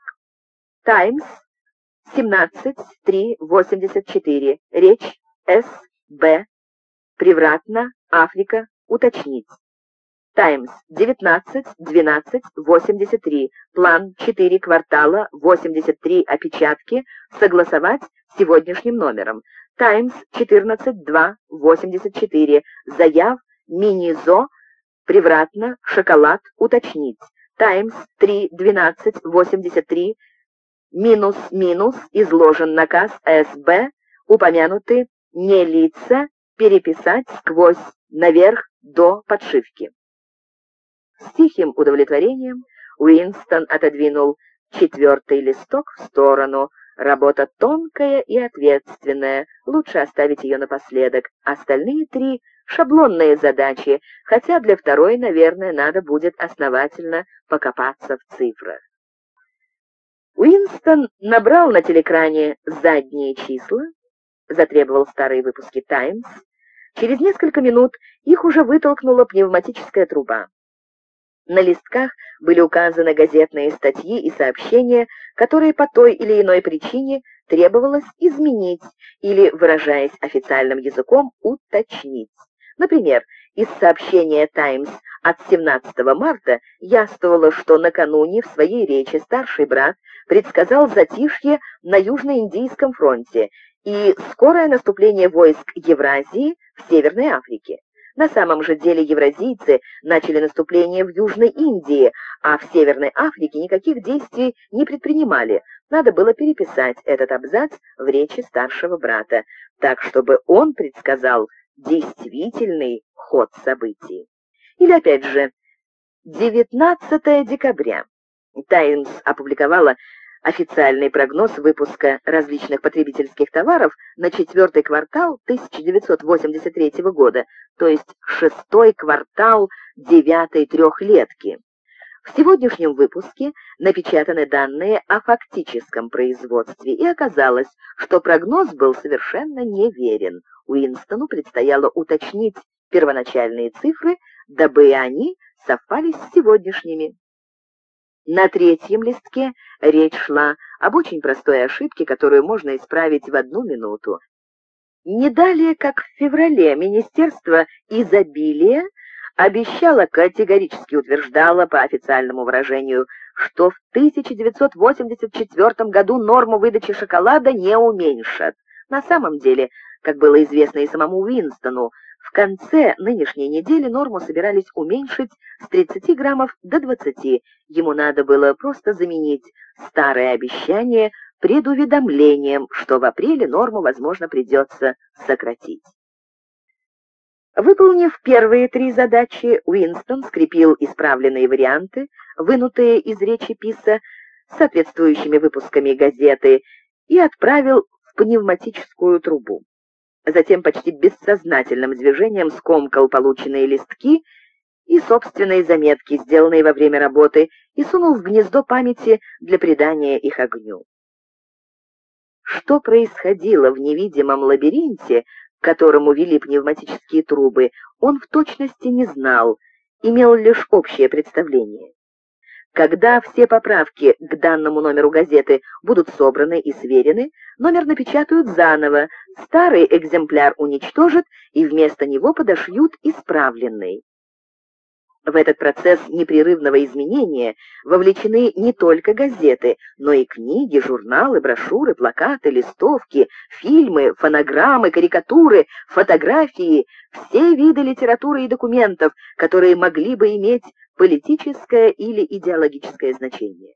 Ежедневно и чуть ли не ежеминутно прошлое подгонялось под настоящее. Поэтому документами можно было подтвердить верность любого предсказания партии. Ни единого известия, ни единого мнения, противоречащего нуждам дня, не существовало в записях. Историю, как старый пергамент, выскабливали начисто и писали заново столько раз, сколько нужно. И не было никакого способа доказать потом подделку. В самой большой секции документального отдела, она была гораздо больше той, где трудился Уинстон, работали люди, чьей единственной задачей было выискивать и собирать все экземпляры газет, книг и других изданий, подлежащих уничтожению и замене. Номер «Таймс», который из-за политических переналадок и ошибочных пророчеств старшего брата перепечатывался, быть может, десяток раз, все равно датирован в подшивке прежним числом, и нет в природе ни единого опровергающего экземпляра. Книги тоже переписывались снова и снова и выходили без упоминания о том, что они переиначены. Даже в заказах, получаемых Уинстоном и уничтожаемых сразу после выполнения, не было и намека на то, что требуется подделка. Речь шла только об ошибках, искаженных цитатах, оговорках, опечатках, которые надо устранить в интересах точности. А в общем, думал он, перекраивая арифметику Министерства изобилия, это даже не подлог, просто замена одного вздора другим.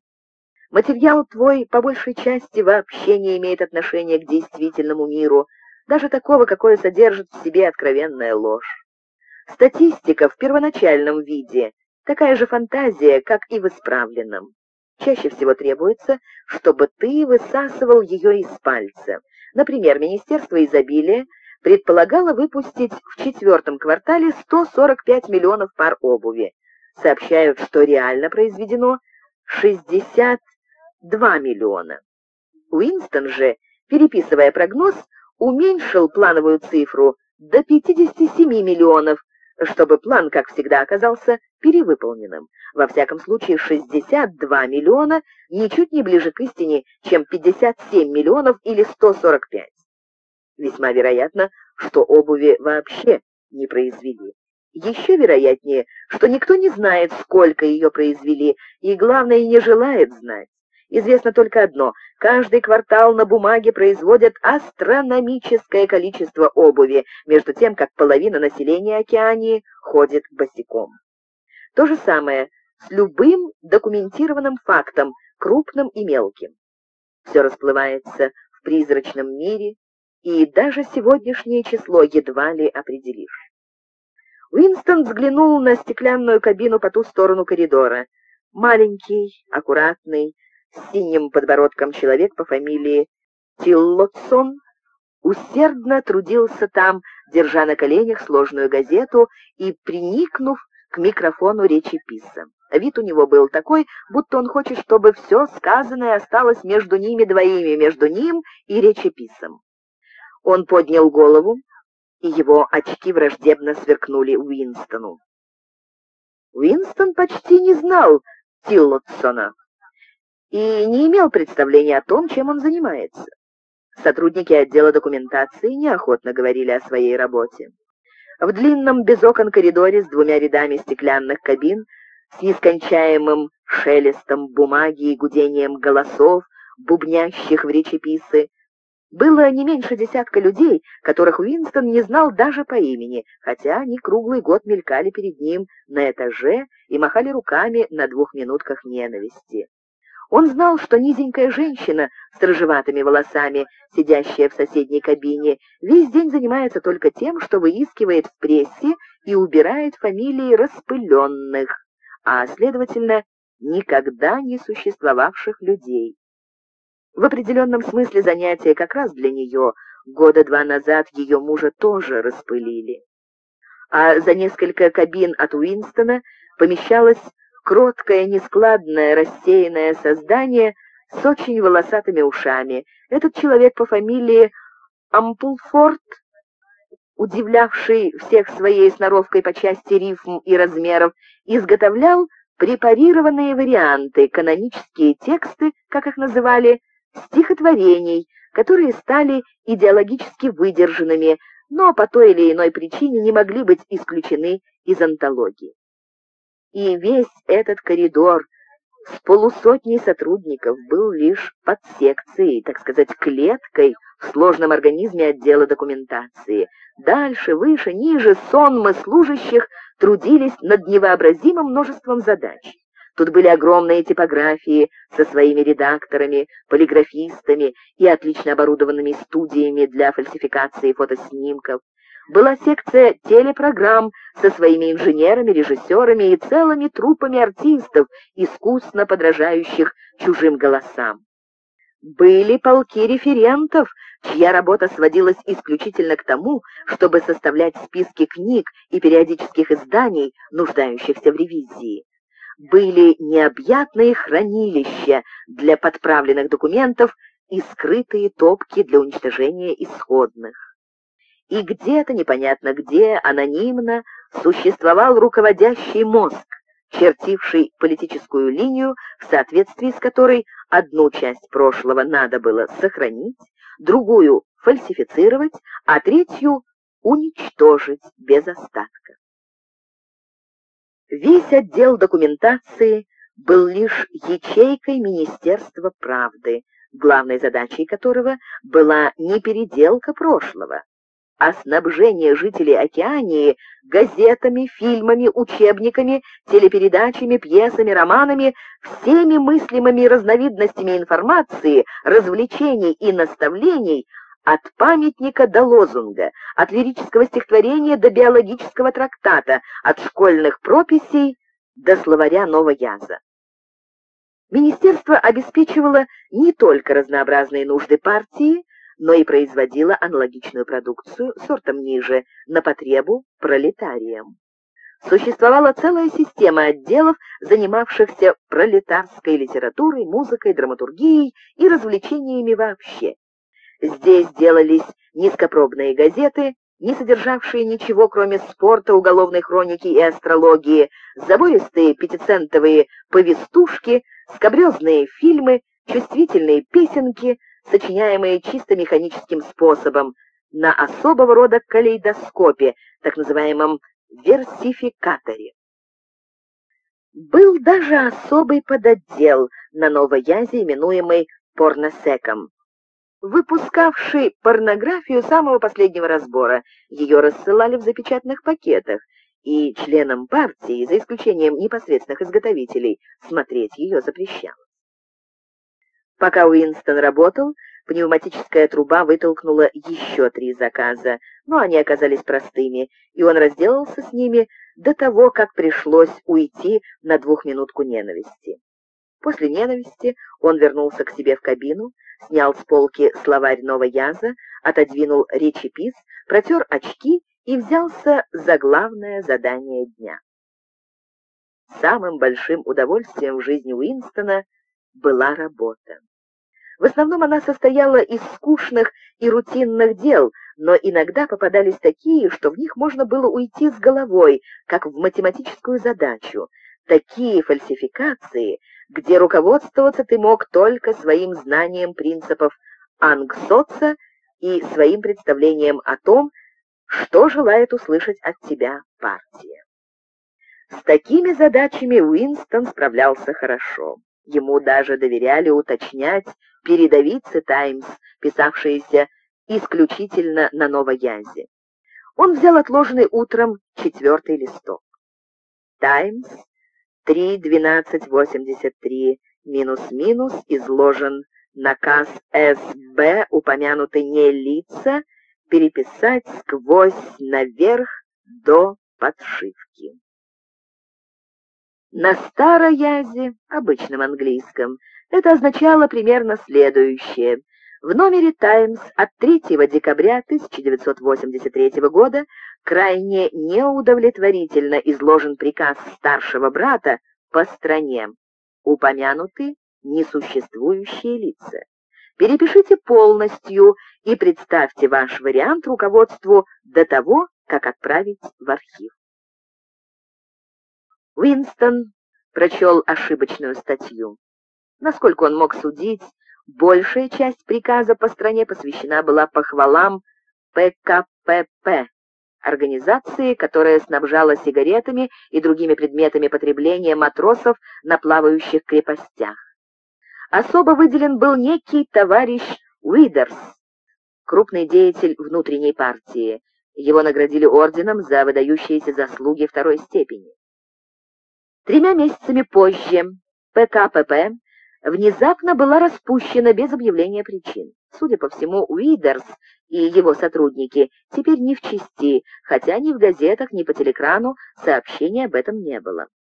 Тоже ничего удивительного. Судить и даже публично разоблачать политически провинившегося не принято.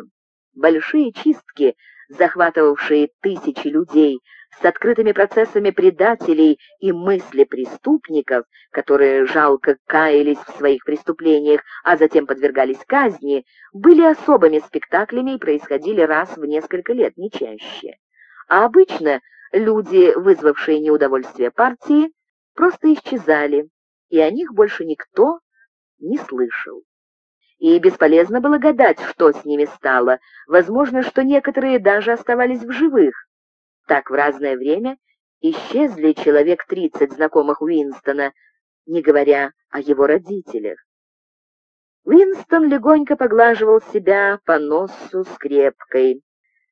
В кабине напротив товарищ Тилотсон по-прежнему таинственно бормотал, прильнув к микрофону.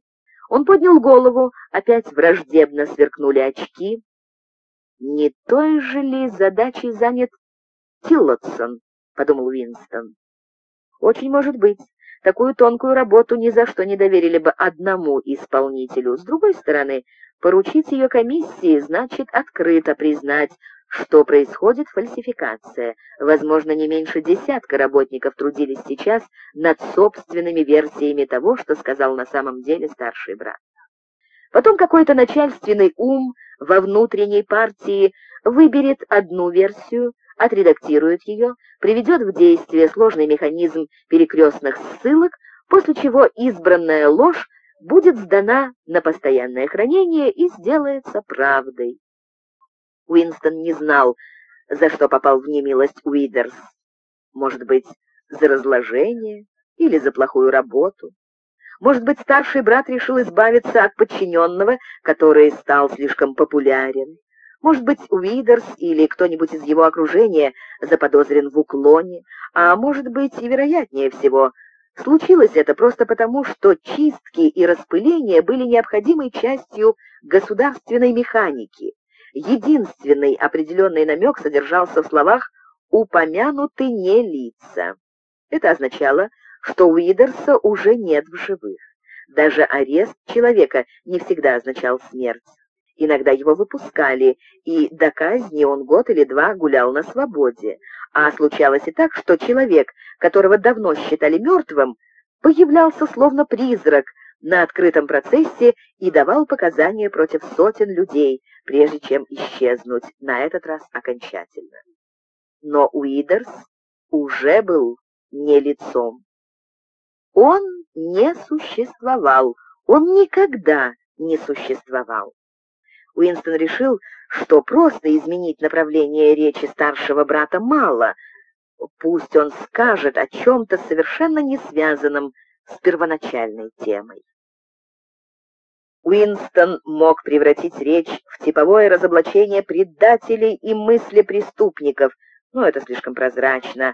А если изобрести победу на фронте или триумфальное перевыполнение трехлетнего плана, то чересчур усложнится документация.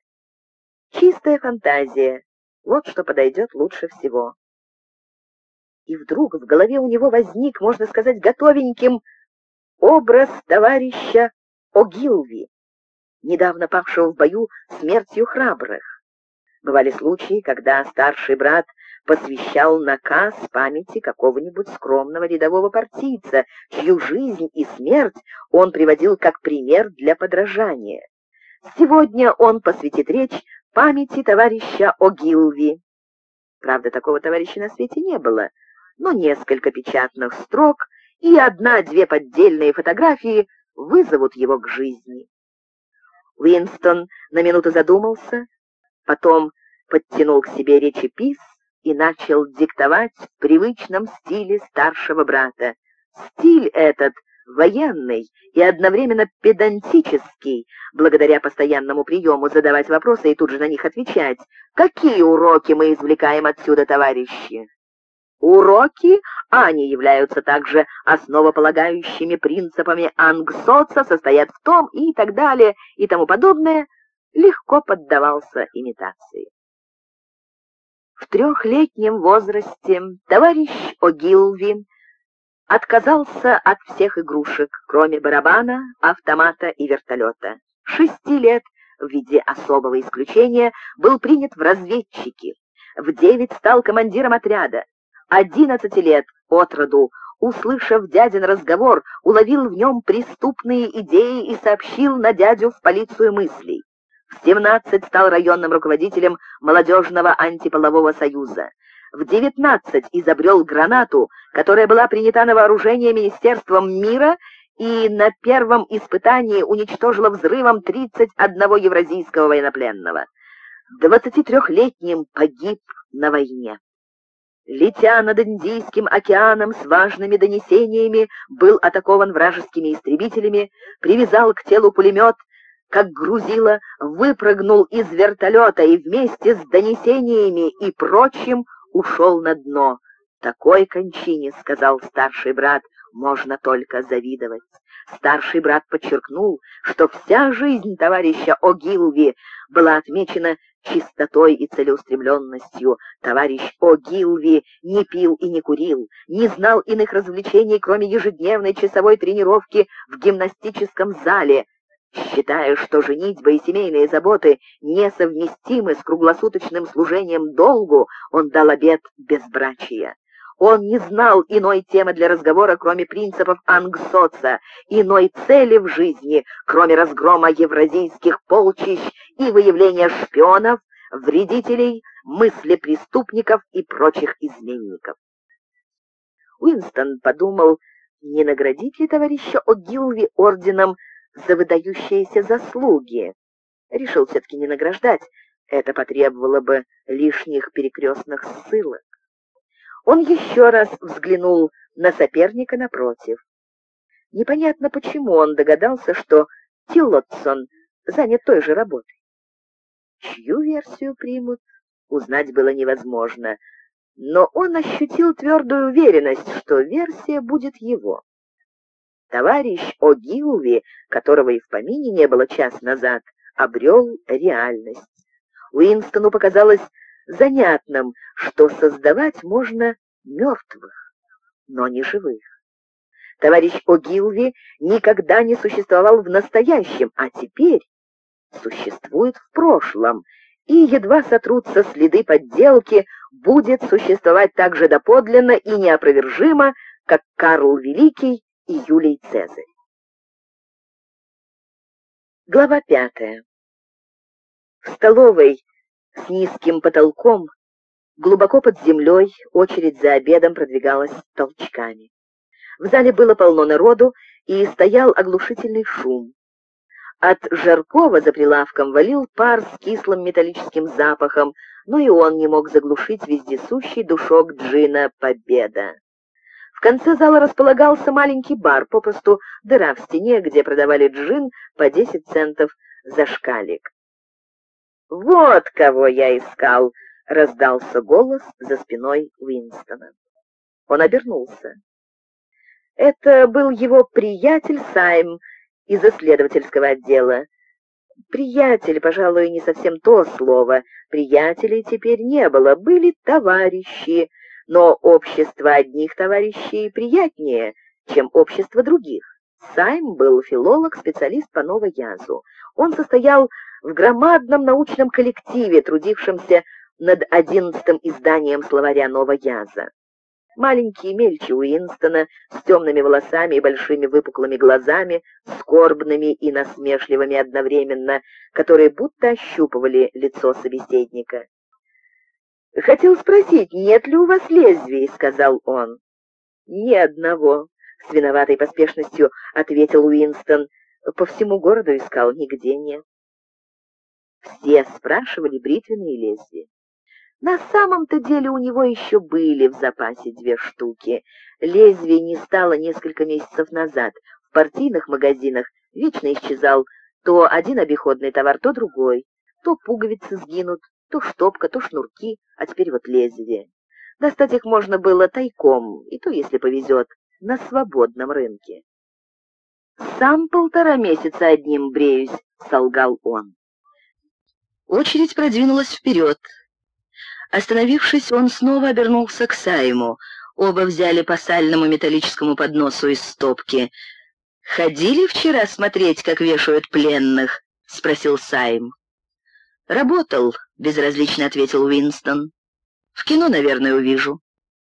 «Весьма неравноценная замена», — сказал Сайм. Его насмешливый взгляд рыскал по лицу Уинстона. «Знаем вас», — говорил этот взгляд, — «насквозь тебя вижу.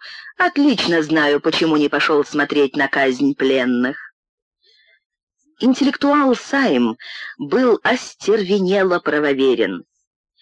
С неприятным сладострастием он говорил об атаках вертолетов на вражеские деревни, о процессах и признаниях мысли преступников, о казнях в подвалах Министерства любви, в разговорах приходилось отвлекать его от этих тем и наводить, когда удавалось, на проблемы новояза, о которых он рассуждал интересно и сознанием дела.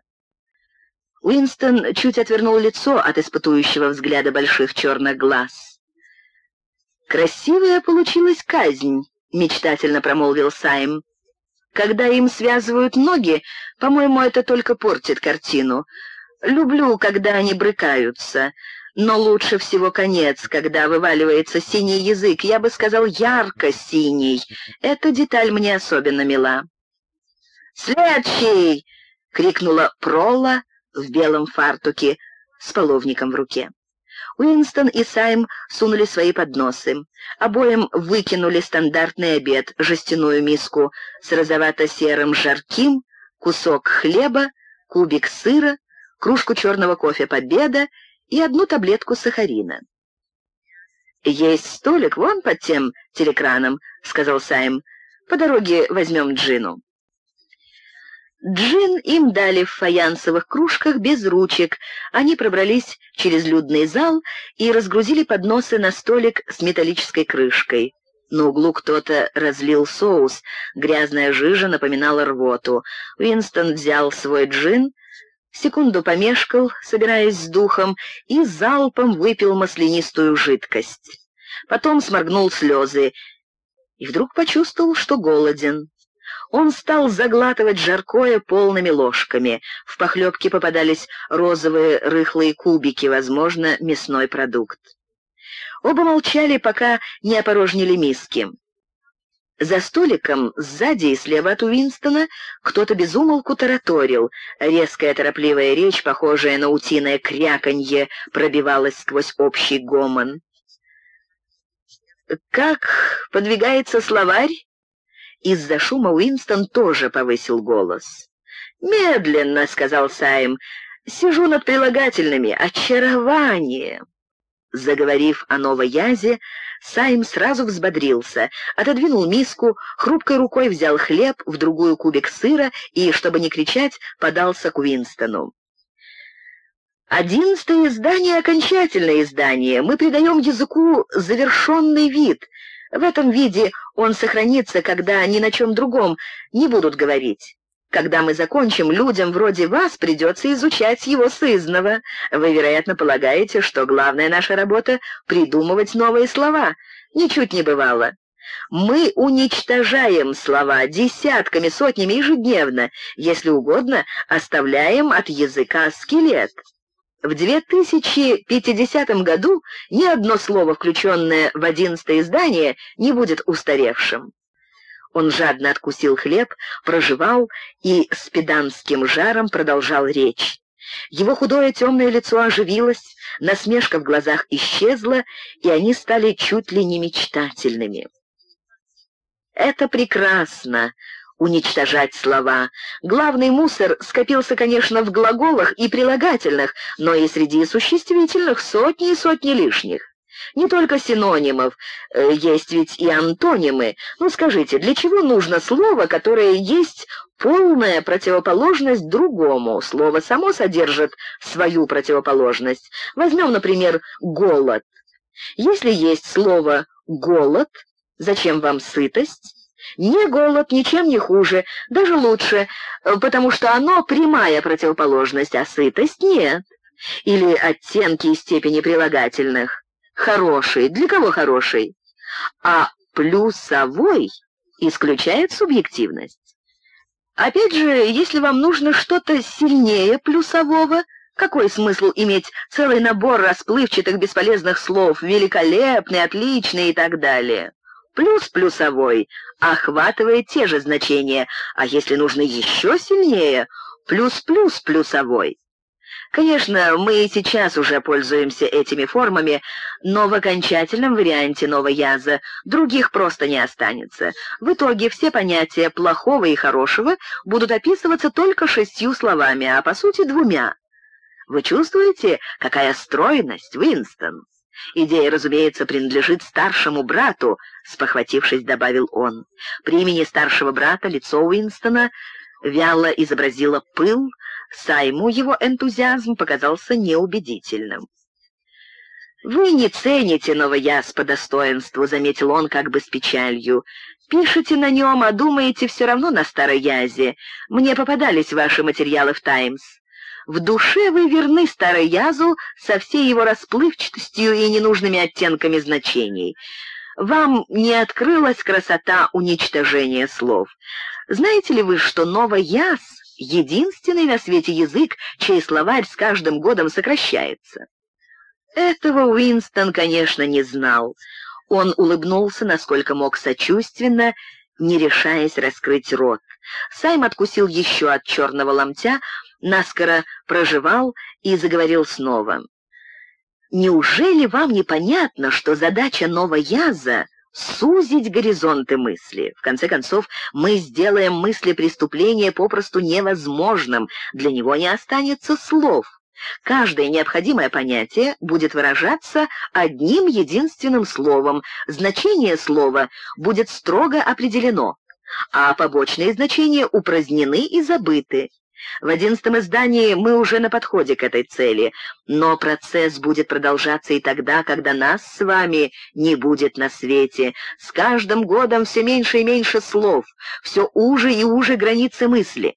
Разумеется, и теперь для мысли преступления нет ни оправданий, ни причин. Это только вопрос самодисциплины, управления реальностью. Но в конце концов и в них нужда отпадет. Революция завершится тогда, когда язык станет совершенным. Новояз — это ангсоц, ангсоц — это новояз, — проговорил он с какой-то религиозной умиротворенностью. Приходило ли вам в голову, Уинстон, что к 2050 году, а то и раньше, на Земле не останется человека, который смог бы понять наш с вами разговор? Кроме... С сомнением начал Уинстон и осекся. У него чуть не сорвалось с языка, кроме пролов. Но он сдержался, не будучи уверен, в дозволительности этого замечания. Сайм, однако, угадал его мысль. «Пролы не люди», — небрежно парировал он. «К 2050 году, если не раньше, по-настоящему владеть староязом не будет никто. Вся литература прошлого будет уничтожена. Чосер, Шекспир, Мильтон, Байрон останутся только в новоязовском варианте, превращенные не просто в нечто иное, а в собственную противоположность. Даже партийная литература станет иной, даже лозунги изменятся. Откуда взяться лозунгу «свобода — это рабство», если упразднено само понятие свободы? Атмосфера мышления станет иной. Мышления в нашем современном значении вообще не будет. Правоверный не мыслит, не нуждается в мышлении. Правоверность — состояние бессознательное. В один прекрасный день внезапно решил Уинстон Сайма распылять. Слишком умен, слишком глубоко смотрит, и слишком ясно выражается. Партия таких не любит. Однажды он исчезнет. У него это на лице написано. Уинстон доел свой хлеб и сыр, чуть повернулся на стуле, чтобы взять кружку с кофе. За столиком слева немилосердно продолжал свои разглагольствования мужчина со скрипучим голосом. Молодая женщина, возможно, секретарша, внимала ему и радостно соглашалась с каждым словом. Время от времени до Уинстона долетал ее молодой и довольно глупый голос, фразы вроде «Как это верно!» Мужчина не умолкал ни на мгновение, даже когда говорила она. Уинстон встречал его в министерстве и знал, что он занимает какую-то важную должность в отделе литературы. Это был человек лет тридцати, с мускулистой шеей и большим подвижным ртом. Он слегка откинул голову, и в таком ракурсе Уинстон видел вместо его глаз пустые блики света, отраженного очками. Жутковато делалось от того, что в хлеставшем изо рта потоке звуков невозможно было поймать ни одного слова. Только раз Уинстон расслышал обрывок фразы «Полная и окончательная ликвидация Голдстейдновщины», Обрывок выскочил целиком, как отлитая строка в линотипе. В остальном это был сплошной шум, кря-кря-кря. Речь нельзя было разобрать, но общий характер ее не вызывал никаких сомнений. Метал ли он громы против Голдстейна и требовал более суровых мер против мыслепреступников и вредителей, возмущался ли зверствами евразийской военщины, восхвалял ли старшего брата и героев Малабарского фронта, значения не имело. В любом случае каждое его слово было чистая правоверность, чистый ангсоц. Глядя на хлопавшее ртом безглазое лицо, Уинстон испытывал странное чувство, что перед ним не живой человек, а манекен. Не в человеческом мозгу рождалась эта речь, в гортани. Извержение состояло из слов, но не было речью в подлинном смысле. Это был шум, производимый в бессознательном состоянии, утиное кряканье.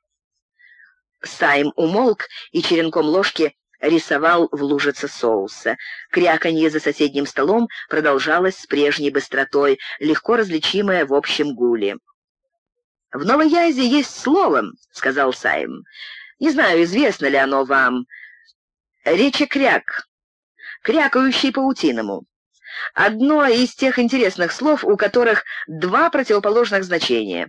В применении к противнику — это ругательство, в применении к тому, с кем вы согласны — похвала. Сайма, несомненно, распылят, — снова подумал Уинстон. Подумал с грустью, хотя отлично знал, что Сайм презирает его и не слишком любит, и вполне может объявить его мыслепреступником, если найдет для этого основание. Чуть-чуть что-то не так с Саймом, чего-то ему не хватает, осмотрительности, отстраненности, некой спасительной глупости.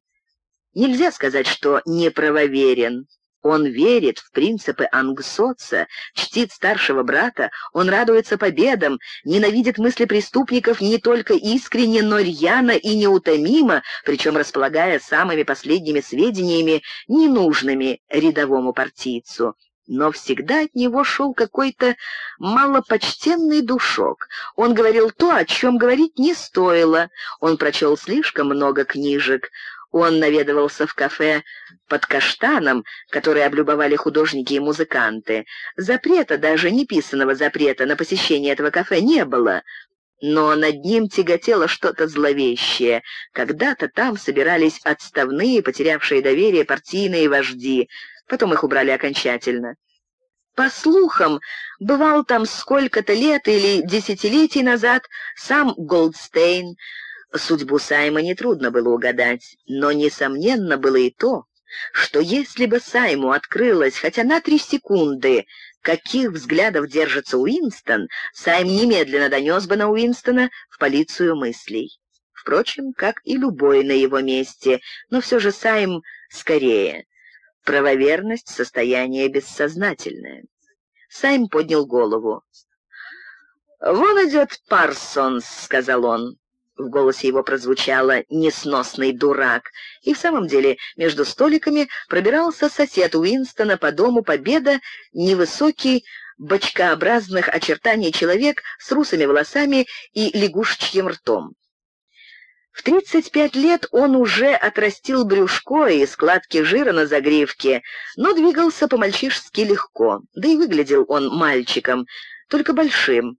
Хотя он был одет в форменный комбинезон, все время хотелось представить его себе в синих шортах, серой рубашке и красном галстуке разведчика. В воображении рисовались ямки на коленях и закатанные рукава на пухлых руках. В шорты Парсонс действительно облачался при всяком удобном случае и в туристских вылазках, и на других мероприятиях, требовавших физической активности. Он приветствовал обоих веселым «здрасте, здрасте» и сел за стол, обдав их крепким запахом пота. Все лицо его было покрыто росой. Потоотделительные способности у Парсонса были выдающиеся. В клубе всегда можно было угадать, что он поиграл в настольный теннис по мокрой ручке ракетки. Сайм вытащил полоску бумаги с длинным столбиком слов и принялся читать, держа на готове чернильный карандаш. «Смотри, даже в обед работает», — сказал Парсонс, толкнув Уинстона в бок. «Увлекается, а? Что у вас там?» «Не по моим, наверное, мозгам. Смит, знаете, почему я за вами гоняюсь? Вы у меня подписаться забыли». «На что подписка?» — спросил Уинстон, машинально потянувшись к карману. Примерно четверть зарплаты уходила на добровольные подписки, настолько многочисленные, что их и упомнить было трудно. «На неделю ненависти. Подписка по месту жительства. Я домовый казначей». Не щадим усилий, в грязь лицом не ударим. Скажу прямо, если наш дом Победа не выставит больше всех флагов на улице, так не по моей вине. Вы два доллара обещали. Уинстон нашел и отдал две мятых замусоленных бумажки, и Парсонс аккуратным почерком малограмотного записал его в блокнотик. «Между прочим», — сказал он, — «я слышал, мой паршивец запулил в вас вчера из рогатки, я ему задал по первое число. Даже пригрозил еще раз повториться, отберу рогатку». «Наверное, расстроился, что его не пустили на казнь», — сказал Уинстон. «Да, знаете, я что хочу сказать, сразу видно, что воспитан в правильном духе. Озорные паршивцы, что один, что другая, но увлеченные. Одно на уме — разведчики, ну и война, конечно. Знаете, что дочурка выкинула в прошлое воскресенье? У них поход был в Беркамстед. Так она сманила еще двух девчонок, откололись от отряда и до вечера следили за одним человеком. Два часа шли за ним, и все лесом, а в Амершеме сдали его патрулю. «Зачем это?» — слегка опешив, спросил Уинстон. Парсонс победоносно продолжал. «Дочурка догадалась, что он вражеский агент, на парашюте сброшенный или еще как. Но вот в чем самая штука-то. С чего, вы думаете, она его заподозрила?» «Туфли на нем чудные. Никогда, — говорит, — не видала на человеке таких туфель. Что, если иностранец?» Семь лет пигалице? А смышленая какая, а?» «И что с ним сделали?» — спросил Уинстон. «Ну уж этого я не знаю, но не особенно удивлюсь, если...» Парсонс изобразил, будто целится из ружья и щелкнул языком. «Отлично!» — в рассеянности произнес Сайм, не отрываясь от своего листка.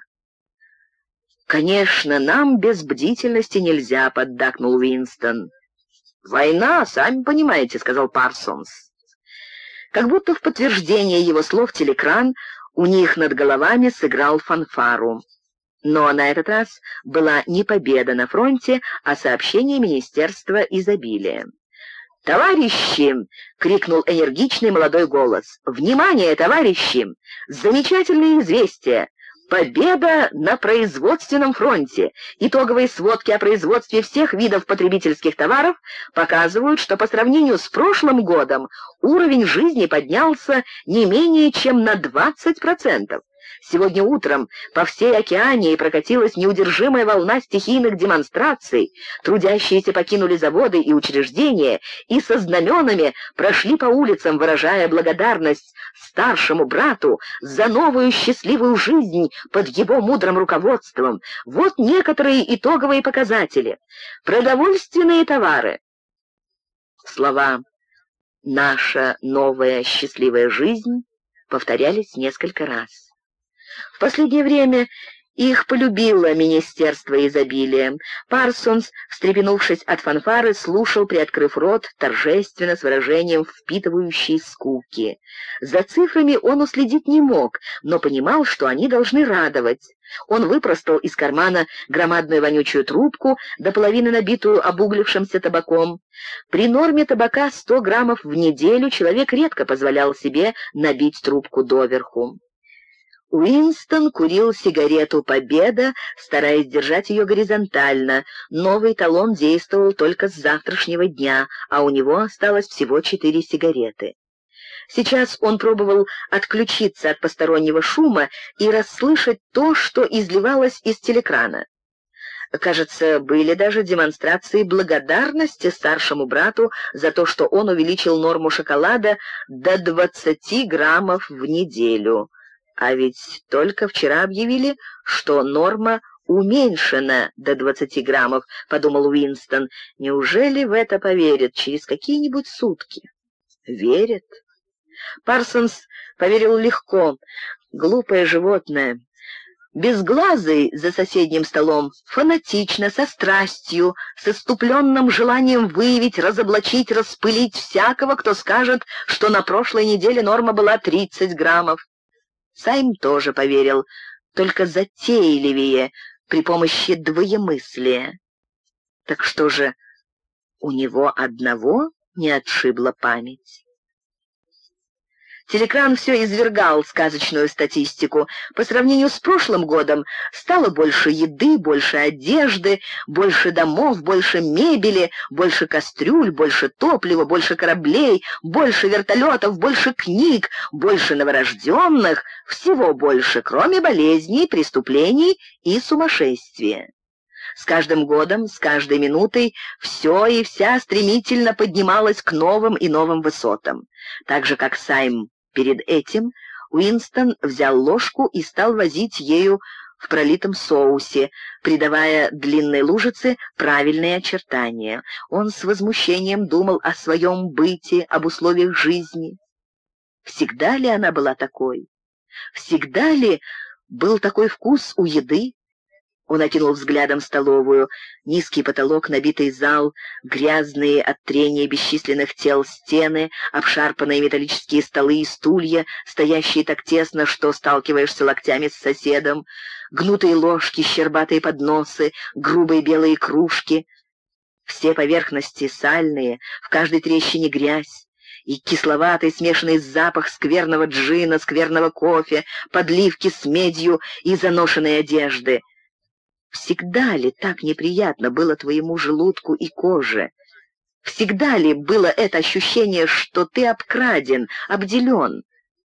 Правда, за всю свою жизнь он не мог припомнить ничего существенно иного.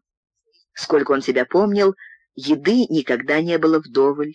Никогда не было целых носков и белья, мебель всегда была обшарпанной и шаткой, комнаты нетопленными, Поезда в метро переполненными, дома обветшалыми, хлеб темным, кофе гнусным, чай редкостью, сигареты считанными. Ничего дешевого и в достатке, кроме синтетического джина. Конечно, тело старится, и все для него становится не так, но если тошно тебе от неудобного, грязного, скудного житья, от нескончаемых зим, заскорузлых носков, вечно неисправных лифтов, от ледяной воды, шершавого мыла, от сигареты, распадающейся в пальцах, от странного и мерзкого вкуса пищи, не означает ли это, что такой уклад жизни ненормален? Если он кажется непереносимым, неужели эта родовая память нашептывает тебе, что когда-то жили иначе. Он снова окинул взглядом зал. Почти все люди были уродливыми и будут уродливыми, даже если переоденутся из форменных синих комбинезонов во что-нибудь другое. Вдалеке пил кофе коротенький человек, удивительно похожий на жука, и стрелял по сторонам подозрительными глазками.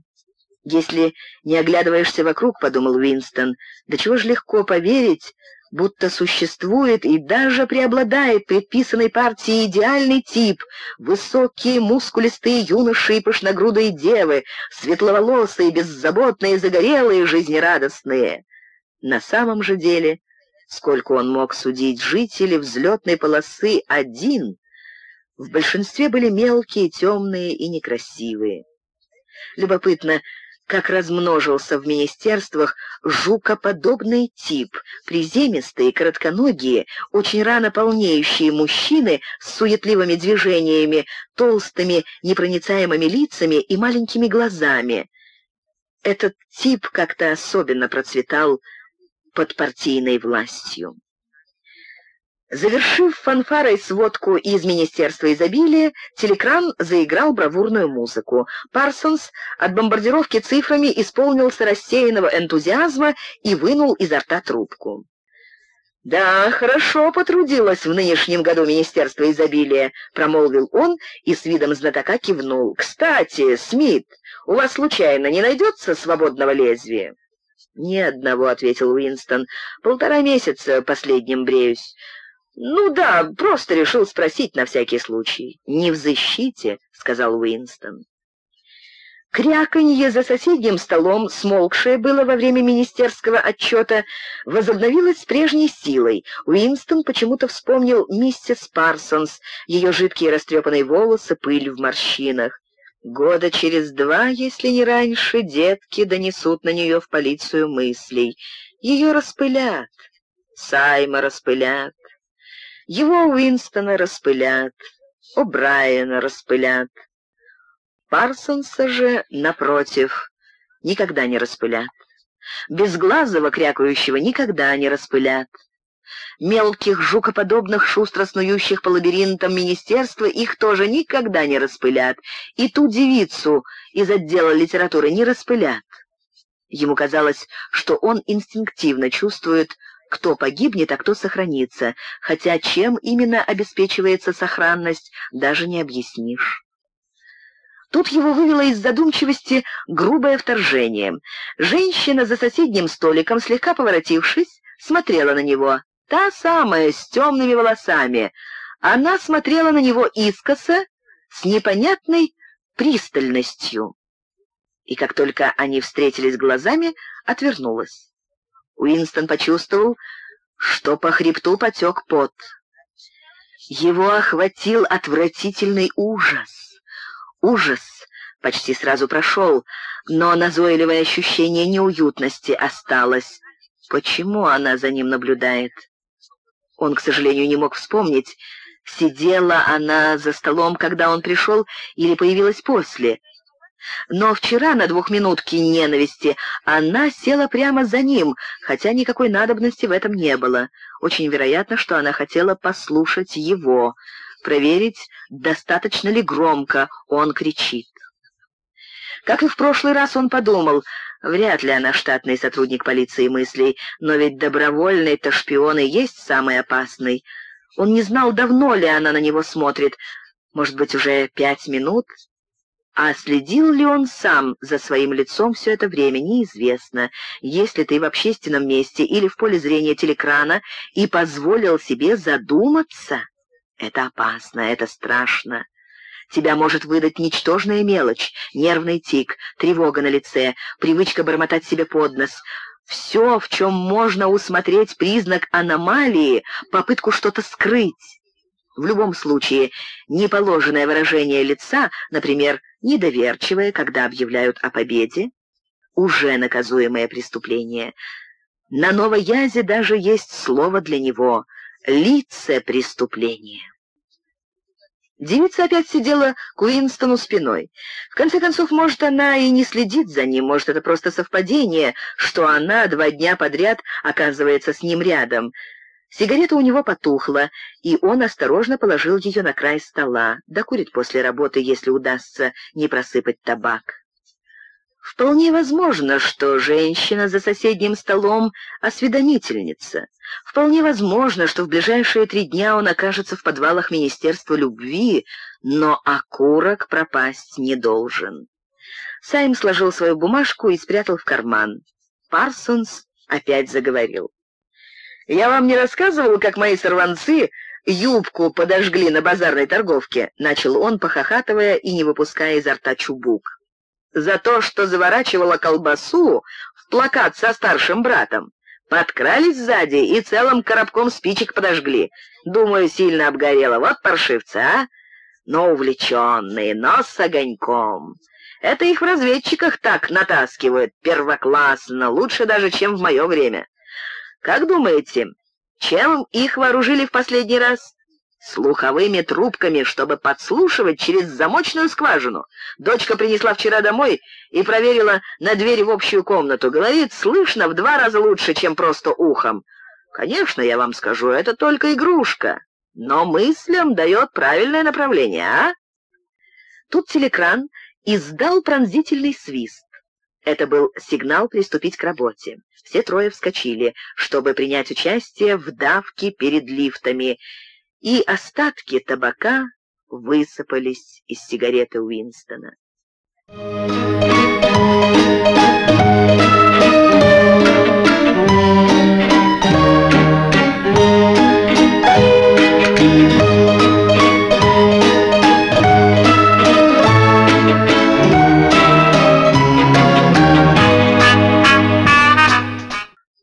Глава шестая. Уинстон писал в дневнике. Это было три года назад. Темным вечером в переулке около Большого вокзала. Она стояла у подъезда под уличным фонарем, почти не дававшим света. Молодое лицо было сильно накрашено. Это и привлекло меня. Белизна лица, похожего на маску, ярко-красные губы. Партийные женщины никогда не красятся. На улице не было больше никого, не было телекранов. Она сказала два доллара. Я... Ему стало трудно продолжать. Он закрыл глаза и нажал навеки пальцами, чтобы прогнать неотвязное видение. Ему нестерпимо хотелось выругаться длинно и во весь голос, или удариться головой о стену, пинком опрокинуть стол, запустить в окно чернильницей, буйством, шумом, болью, чем угодно — заглушить рвущие душу воспоминания. «Твой злейший враг», — подумал он, — «это твоя нервная система. В любую минуту внутреннее напряжение может отразиться на твоей наружности». Он вспомнил прохожего, которого встретил на улице несколько недель назад. Ничем не примечательный человек, член партии, лет 35 или 40, худой и довольно высокий, с портфелем. Они были в нескольких шагах друг от друга, и вдруг левая сторона лица у прохожего дернулась. Когда они поравнялись, это повторилось еще раз. Мимолетная судорога, тик, краткий, как щелчок фотографического затвора, но, видимо, привычный. Уинстон тогда подумал, бедняги крышка. Страшно, что человек этого, скорее всего, не замечал, но самая ужасная опасность из всех — разговаривать во сне. От этого, казалось Уинстону, ты вообще не можешь предохраниться. Он перевел дух и стал писать дальше. Я вошел за ней в подъезд, а оттуда через двор в полуподвальную кухню. У стены стояла кровать, на столе лампа с привернутым фитилем. Женщина! Раздражение не проходило. Ему хотелось плюнуть. Вспомнив женщину в полуподвальной кухне, он вспомнил Кэтрин, жену. Уинстон был женат. Когда-то был. А может, и до сих пор. Насколько он знал, жена не умерла. Он будто снова вдохнул тяжелый спертый воздух кухни, смешанный запах грязного белья, клопов и дешевых духов, гнусных и вместе с тем соблазнительных, потому что пахло не партийной женщиной. Партийная не могла надушиться. Душились только проллы, для Уинстона запах духов был неразрывно связан с блудом. Это было его первое прегрешение за два года. Иметь дело с проститутками, конечно, запрещалось, но запрет был из тех, которые ты время от времени осмеливаешься нарушить. Опасно, но не смертельно. Попался с проституткой, пять лет лагеря, не больше, если нет отягчающих обстоятельств. И дело не такое уж сложное, лишь бы не застигли за преступным актом. Бедные кварталы кишели женщинами, готовыми продать себя, а купить иную можно было за бутылку джина. Пролом джин не полагался. Негласно партия даже поощряла проституцию, как выпускной клапан для инстинктов, которые все равно нельзя подавить. Сам по себе разврат мало значил, лишь бы был он вороватым и безрадостным, а женщина — из беднейшего и презираемого класса. Непростительное преступление — связь между членами партии. Но хотя во время больших чисток обвиняемые неизменно признавались и в этом преступлении, вообразить, что такое случается в жизни, было трудно. Партия стремилась не просто помешать тому, чтобы между мужчинами и женщинами возникали узы, которые не всегда поддаются ее воздействию. Ее подлинной, необъявленной целью было лишить половой акт удовольствия. Главным врагом была не столько любовь, сколько эротика, и в браке, и вне его.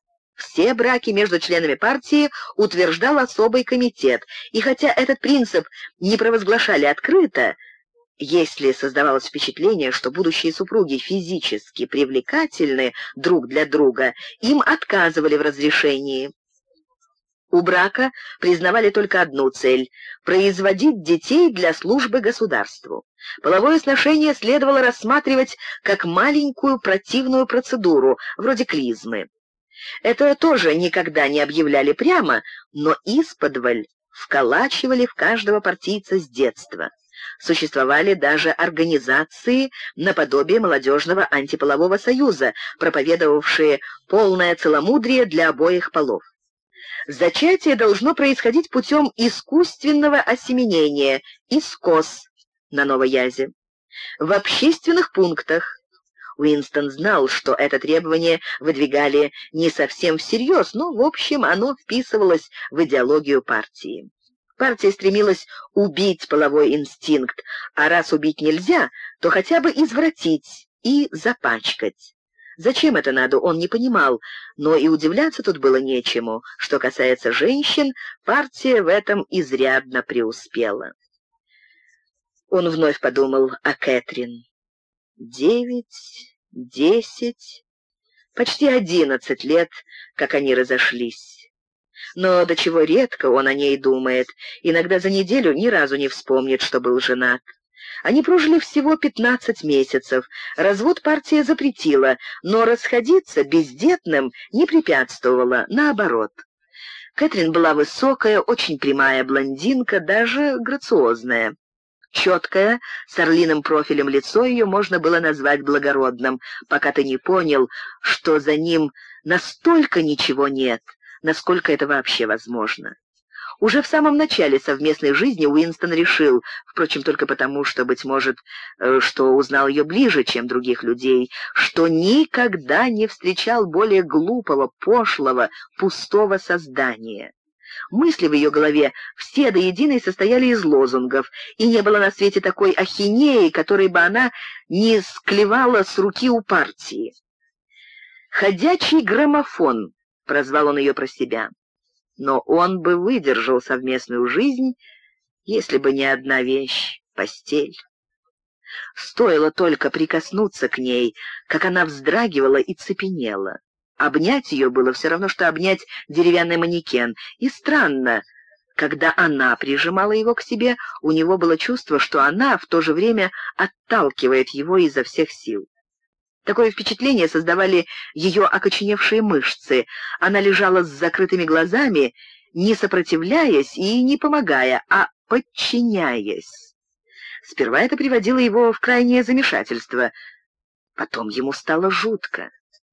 Но он все равно бы вытерпел, если бы они условились больше не спать. Как ни удивительно, на это не согласилась Кэтрин. «Мы должны», — сказала она, — «если удастся родить ребенка». Так что занятия продолжались, и вполне регулярно, раз в неделю, если к тому не было препятствий. Она даже напоминала ему по утрам, что им предстоит сегодня вечером, дабы он не забыл. Для этого у нее было два названия. Одно — «Подумать о ребенке», другое — «Наш партийный долг». Да, она именно так выражалась. Довольно скоро приближение назначенного дня стало вызывать у него форменный ужас. Но, к счастью, ребенка не получилось. Кэтрин решила прекратить попытки, и вскоре они разошлись. Уинстон беззвучно вздохнул. Он снова взял ручку и написал. Женщина бросилась на кровать и сразу, без всяких предисловий, с неописуемой грубостью и вульгарностью задрала юбку. «Я...»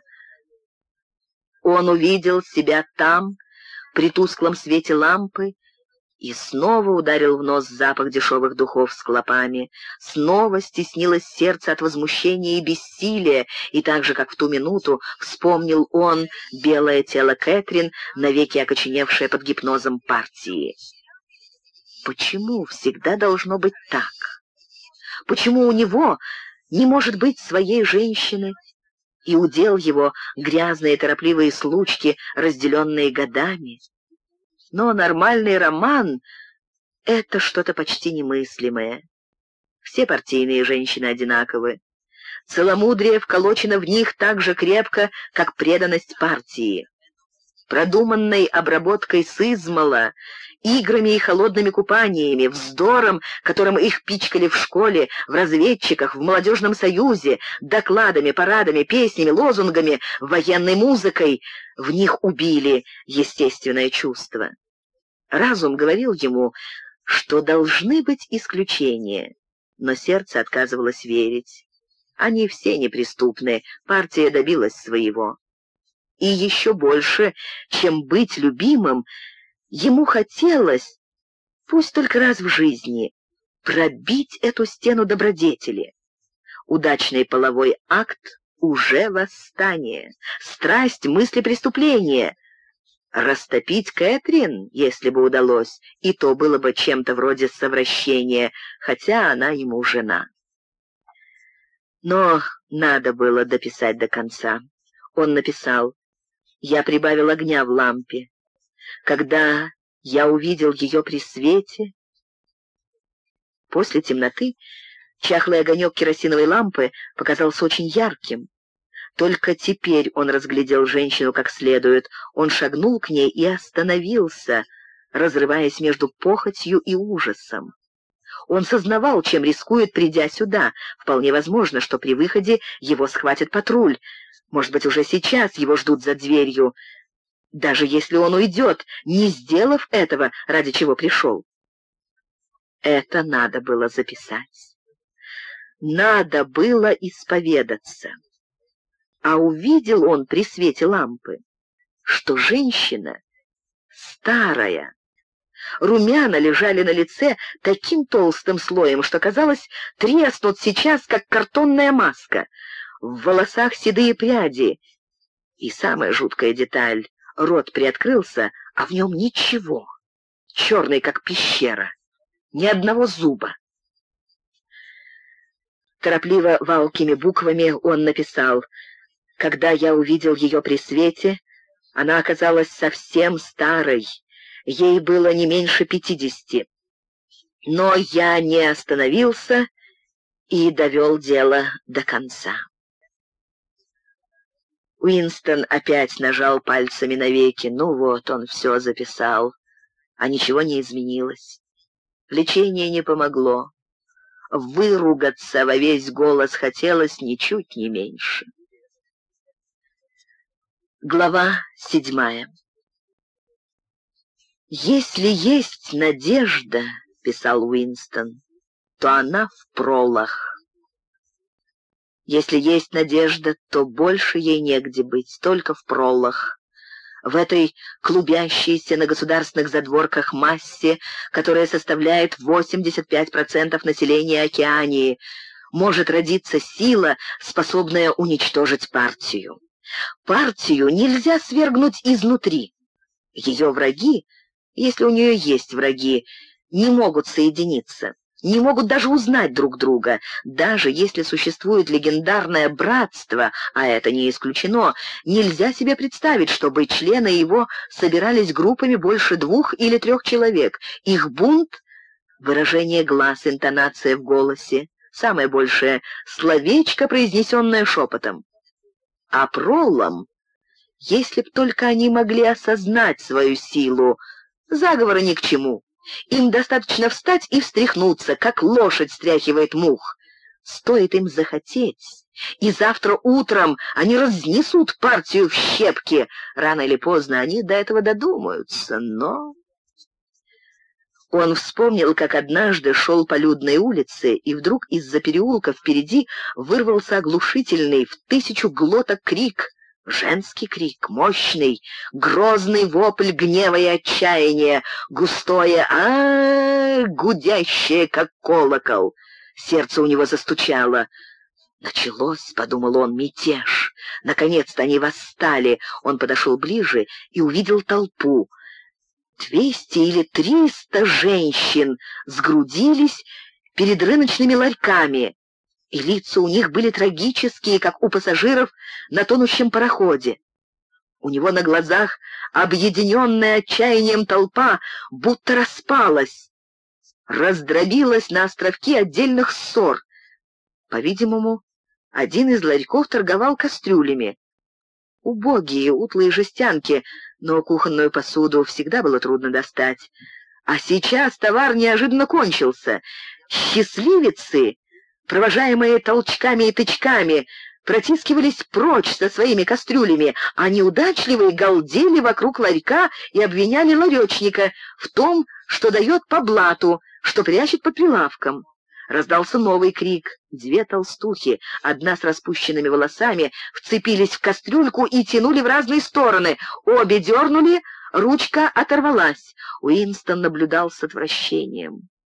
Однако какая же устрашающая сила прозвучала в крике всего двухсот или трехсот голосов. Ну почему они никогда не крикнут так из-за чего-нибудь стоящего? он написал, «Они никогда не взбунтуются, пока не станут сознательными, а сознательными не станут, пока не взбунтуются». Прямо как из партийного учебника Франза, подумал он. Партия, конечно, утверждала, что освободила пролов от цепей. До революции их страшно угнетали капиталисты, морили голодом и пароли, женщин заставляли работать в шахтах. Между прочим, они там работают до сих пор. Детей в шесть лет продавали на фабрике, но одновременно, в соответствии с принципом двоемыслия, партия учила, что пролы по своей природе низшие существа. Их, как животных, надо держать в повиновении, руководствуясь несколькими простыми правилами. В сущности, о проллах знали очень мало. Много и незачем знать. Лишь бы трудились и размножались, а там пусть делают, что хотят. Предоставленные сами себе, как скот на равнинах Аргентины, они всегда возвращались к тому образу жизни, который для них естествен. Шли по стопам предков. Они рождаются, растут в грязи, в 12 лет начинают работать, переживают короткий период физического расцвета и сексуальности, в 20 лет женятся, в 30 уже не молодые, к 60 обычно умирают.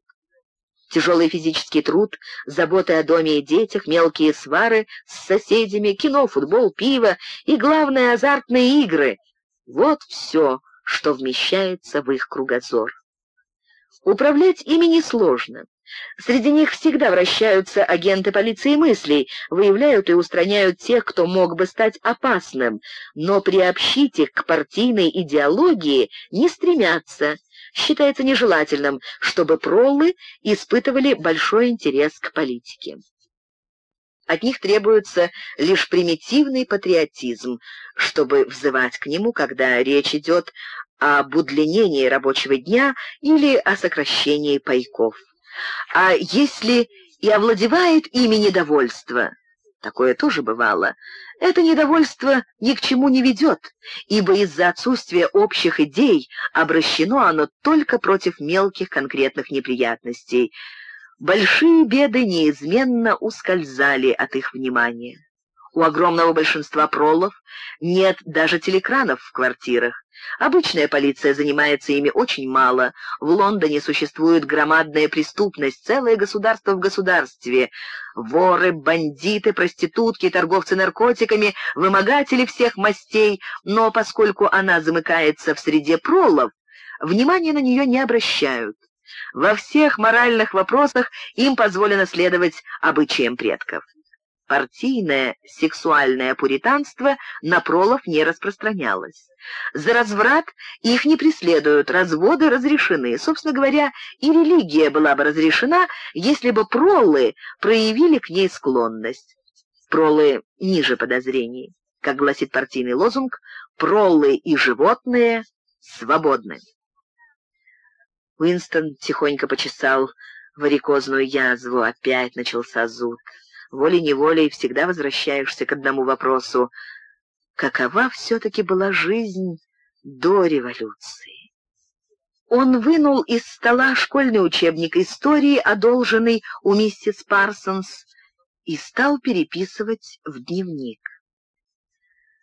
В прежнее время, до славной революции, Лондон не был тем прекрасным городом, каким мы его знаем сегодня.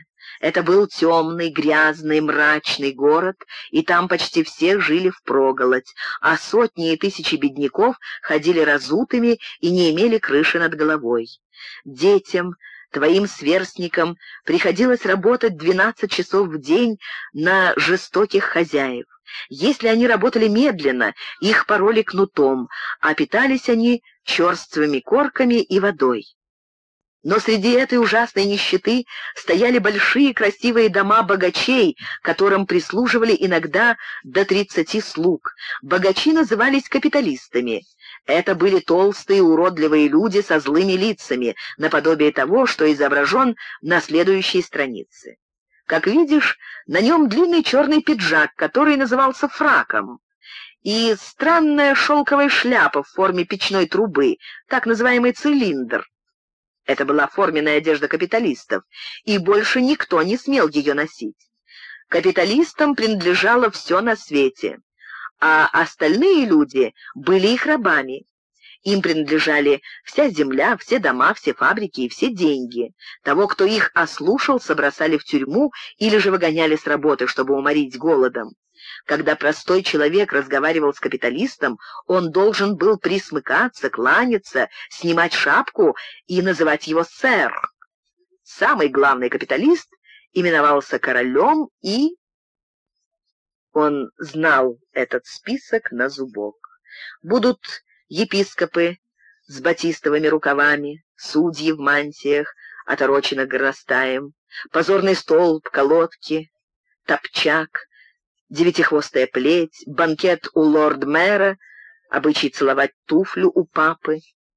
Было еще так называемое право первой ночи, но в детском учебнике оно, наверное, не упомянуто. По этому закону капиталист имел право спать с любой работницей своей фабрики. Как узнать, сколько тут лжи? Может быть, и вправду средний человек живет сейчас лучше, чем до революции. Единственное свидетельство против — безмолвный протест у тебя в потрохах, инстинктивное ощущение, что условия твоей жизни невыносимы, что некогда они, наверное, были другими. Ему пришло в голову, что самое характерное в нынешней жизни — не жестокость ее и не шаткость, а просто убожество, тусклость, апатия. Оглянешься вокруг и не увидишь ничего похожего ни на ложь, льющуюся из телекрана, ни на те идеалы, к которым стремится партия.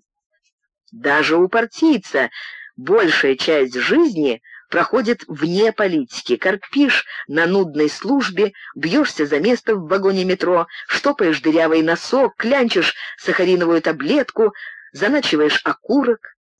Партийный идеал — это нечто исполинское, грозное, сверкающее. Мир стали и бетона, чудовищных машин и жуткого оружия, страна воинов и фанатиков, которые шагают в едином строю, думают одну мысль, кричат один лозунг, неустанно трудятся, сражаются, торжествуют, карают. Триста миллионов человек и все на одно лицо. В жизни города-трущобы, где снуют несытые люди в худых башмаках, ветхие дома XIX века, где всегда пахнет капустой и нужником. Перед ним возникло видение Лондона, громадный город развален, город миллиона мусорных ящиков, и на него наложился образ миссис Парсонс, женщины с морщинистым лицом, жидкими волосами, безнадежно ковыряющие засоренную канализационную трубу. Он опять почесал лодыжку. День и ночь телекраны хлещут тебя по ушам статистикой, доказывают, что у людей сегодня больше еды, больше одежды, лучше дома, веселее развлечения, что они живут дольше, работают меньше и сами стали крупнее, здоровее, сильнее, счастливее, умнее, просвещеннее, чем 50 лет назад. Ни слова тут нельзя доказать и нельзя опровергнуть. Партия, например, утверждает, что грамотны сегодня 40% взрослых пролов, а до революции грамотных было только 15%. Партия утверждает, что детская смертность сегодня всего 160 на тысячу, а до революции была 300 и так далее. Это что-то вроде одного уравнения с двумя неизвестными. Очень может быть, что буквально каждое слово в исторических книжках, даже те, которые принимаешь как самоочевидные, чистый вымысел. Кто его знает, может, и не было никогда такого закона, как право первой ночи, или такой твари, как капиталист, или такого головного убора, как цилиндр. Все расплывается в тумане. Прошлое подчищено, подчистка забыта, ложь стала правдой. Лишь однажды в жизни он располагал после событий, вот что важно, ясным и недвусмысленным доказательством того, что совершена подделка. Он держал его в руках целых полминуты. Было это, кажется, в 1973 году, словом, в то время, когда он расстался с Кэтрин. Но речь шла о событиях семи- или восьмилетней давности. Началась эта история в середине 60-х годов, в период больших чисток, когда были поголовно истреблены подлинные вожди революции. К 1970 году в живых не осталось ни одного, кроме старшего брата. Всех разоблачили как предателей и контрреволюционеров. Голдстейн сбежал и скрывался неведомо где, кто-то просто исчез, большинство же после шумных процессов где все признались в своих преступлениях, было казнено. Среди последних, кого постигла эта участь, были трое — Джонс, Аронсон и Резерфорд. Их взяли году в 65-м. По обыкновению они исчезли на год или год с лишним, и никто не знал, живы они или нет. Но потом их вдруг извлекли, дабы они, как принято, изобличили себя сами. Они признались в сношениях с врагом, тогда врагом тоже была Евразия, в растрате общественных фондов, в убийстве преданных партийцев, в подкопах под руководство старшего брата, которыми они занялись еще задолго до революции, во вредительских актах, стоивших жизни сотням тысяч людей. Признались, были помилованы, восстановлены в партии и получили посты. По названию важные, а по сути синекуры. Все трое выступили с длинными покаянными статьями в «Таймс», где рассматривали корни своей измены и обещали искупить вину. После их освобождения Уинстон действительно видел всю троицу в кафе под каштаном. Он наблюдал за ними из-под тяжка, с ужасом, и не мог оторвать глаз. Они были гораздо старше его, реликты древнего мира, наверное, последние крупные фигуры, оставшиеся от ранних героических дней партии. Славный дух подпольной борьбы и гражданской войны все еще витал над ними. У него было ощущение, хотя факты и даты уже порядком расплылись, что их имена он услышал на несколько лет раньше, чем имя старшего брата но они были вне закона, враги парии, обреченные исчезнуть в течение ближайшего года или двух. Тем, кто раз побывал в руках у полиции мыслей, уже не было спасения. Они трупы и только ждут, когда их отправят на кладбище. За столиками вокруг них не было ни души. Неразумно даже показываться поблизости от таких людей.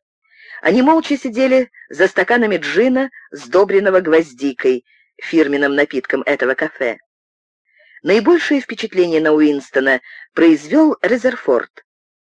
Некогда знаменитый карикатурист, он своими злыми рисунками немало способствовал разжиганию общественных страстей в период революции. Его карикатуры и теперь изредка появлялись в «Таймс».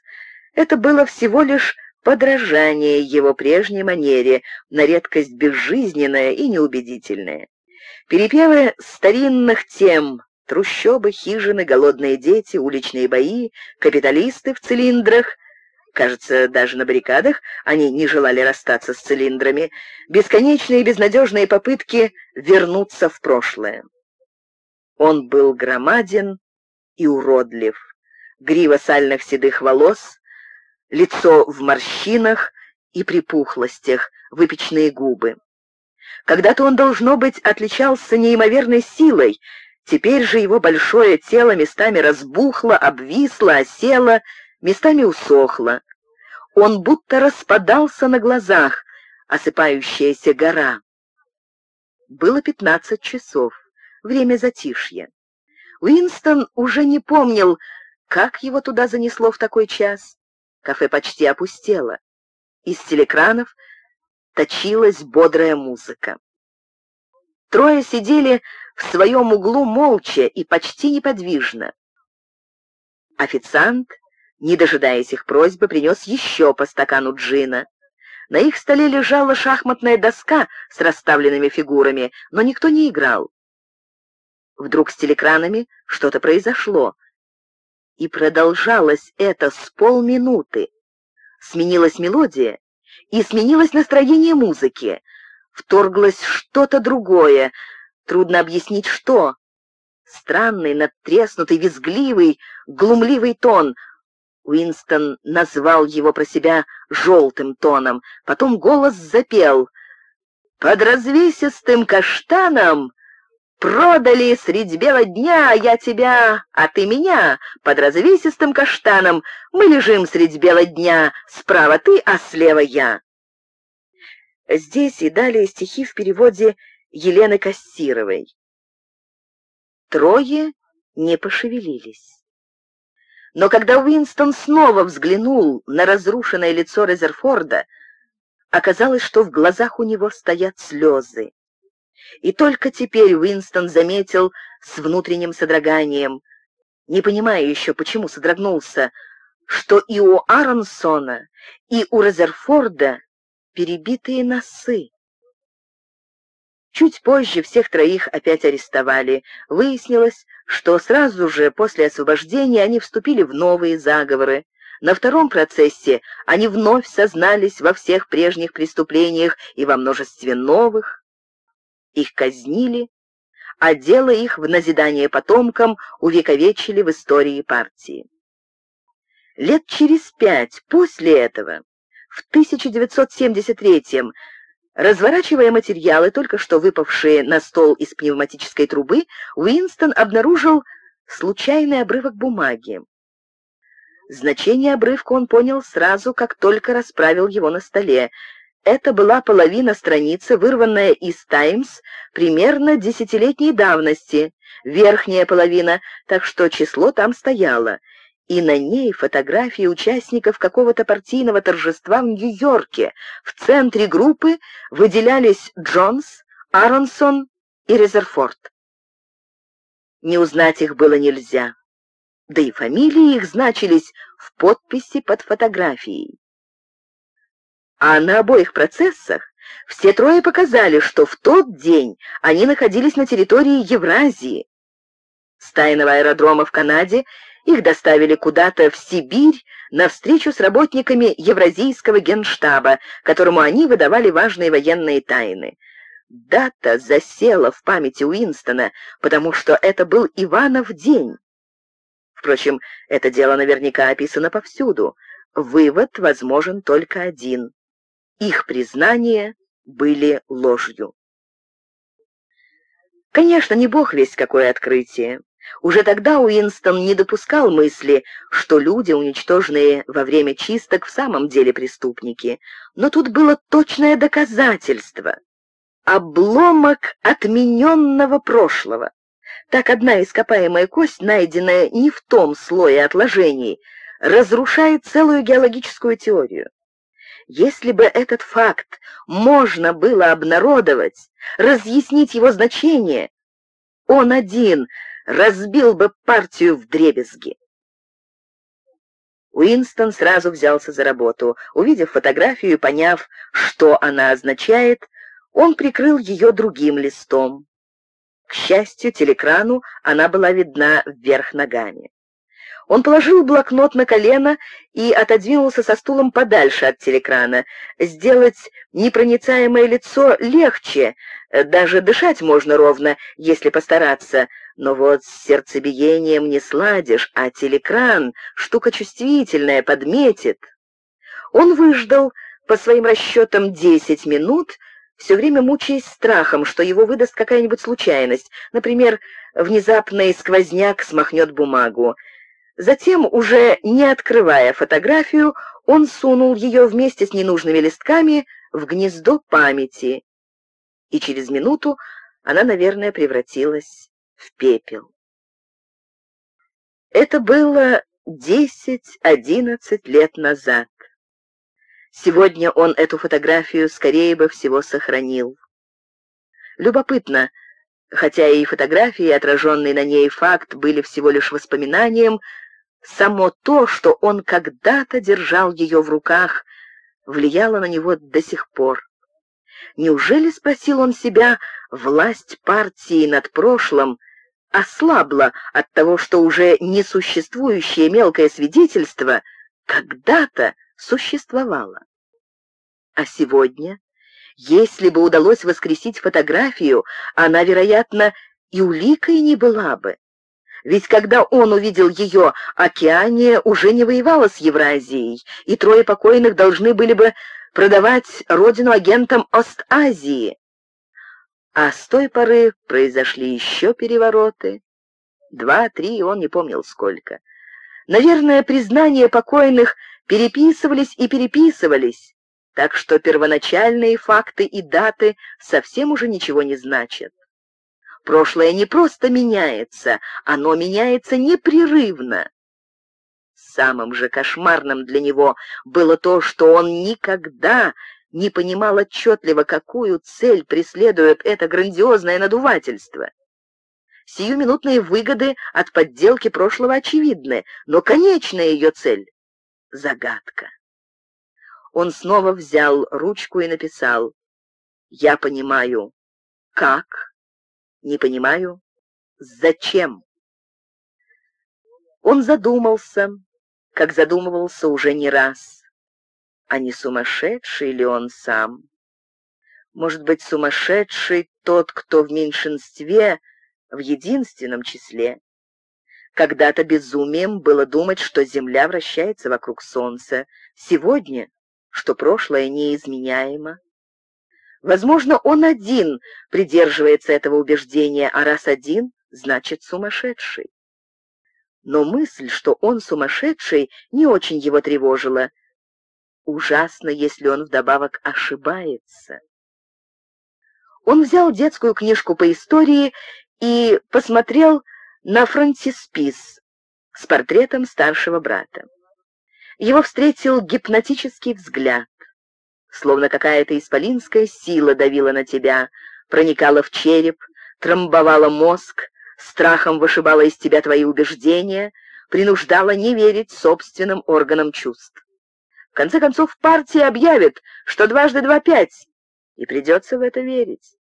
Рано или поздно она издаст такой указ, к этому неизбежно ведет логика ее власти. Ее философия молчаливо отрицает не только верность твоих восприятий, но и само существование внешнего мира.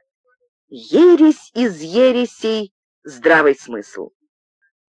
И ужасно не то, что тебя убьют за противоположное мнение, а то, что они, может быть, правы.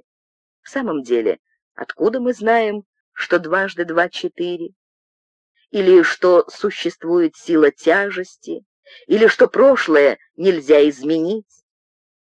Если и прошлое, и внешний мир существуют только в сознании, а сознанием можно управлять, тогда что? Нет, он ощутил неожиданный прилив мужества. Непонятно, по какой ассоциации в уме возникло лицо О'Брайена. Теперь он еще тверже знал, что О'Брайен на его стороне. Он пишет дневник для О'Брайена. О'Брайену никто не прочтет его бесконечного письма, но предназначено оно определенному человеку, и этим окрашено. Партия велела тебе не верить своим глазам и ушам, и это ее окончательный, самый важный приказ. Сердце у него упало при мысли о том, какая огромная сила выстроилась против него, с какой легкостью собьет его в споре любой партийный идеолог хитрыми доводами, которых он не то что опровергнуть, понять не может. И однако он прав. Они не правы, а прав он. Очевидное, азбучное, верное надо защищать. Прописная истина истинна. И стой на этом. Прочно существует мир, его законы не меняются. Камни твердые, вода мокрая, предмет лишенной опоры устремляется к центру земли с ощущением, что он говорит это о Брайану и выдвигает важную аксиому, Уинстон написал «Свобода — это возможность сказать, что дважды два — четыре. Если дозволено это, все остальное отсюда следует». Глава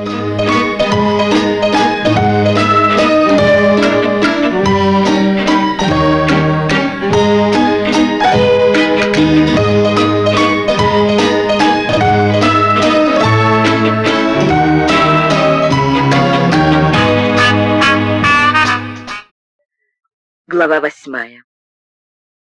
Откуда-то из глубины прохода пахнуло жареным кофе.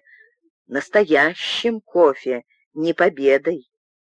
Уинстон невольно остановился. Секунды на две он вернулся в полузабытый мир детства, потом хлопнула дверь и отрубила запах, как звук.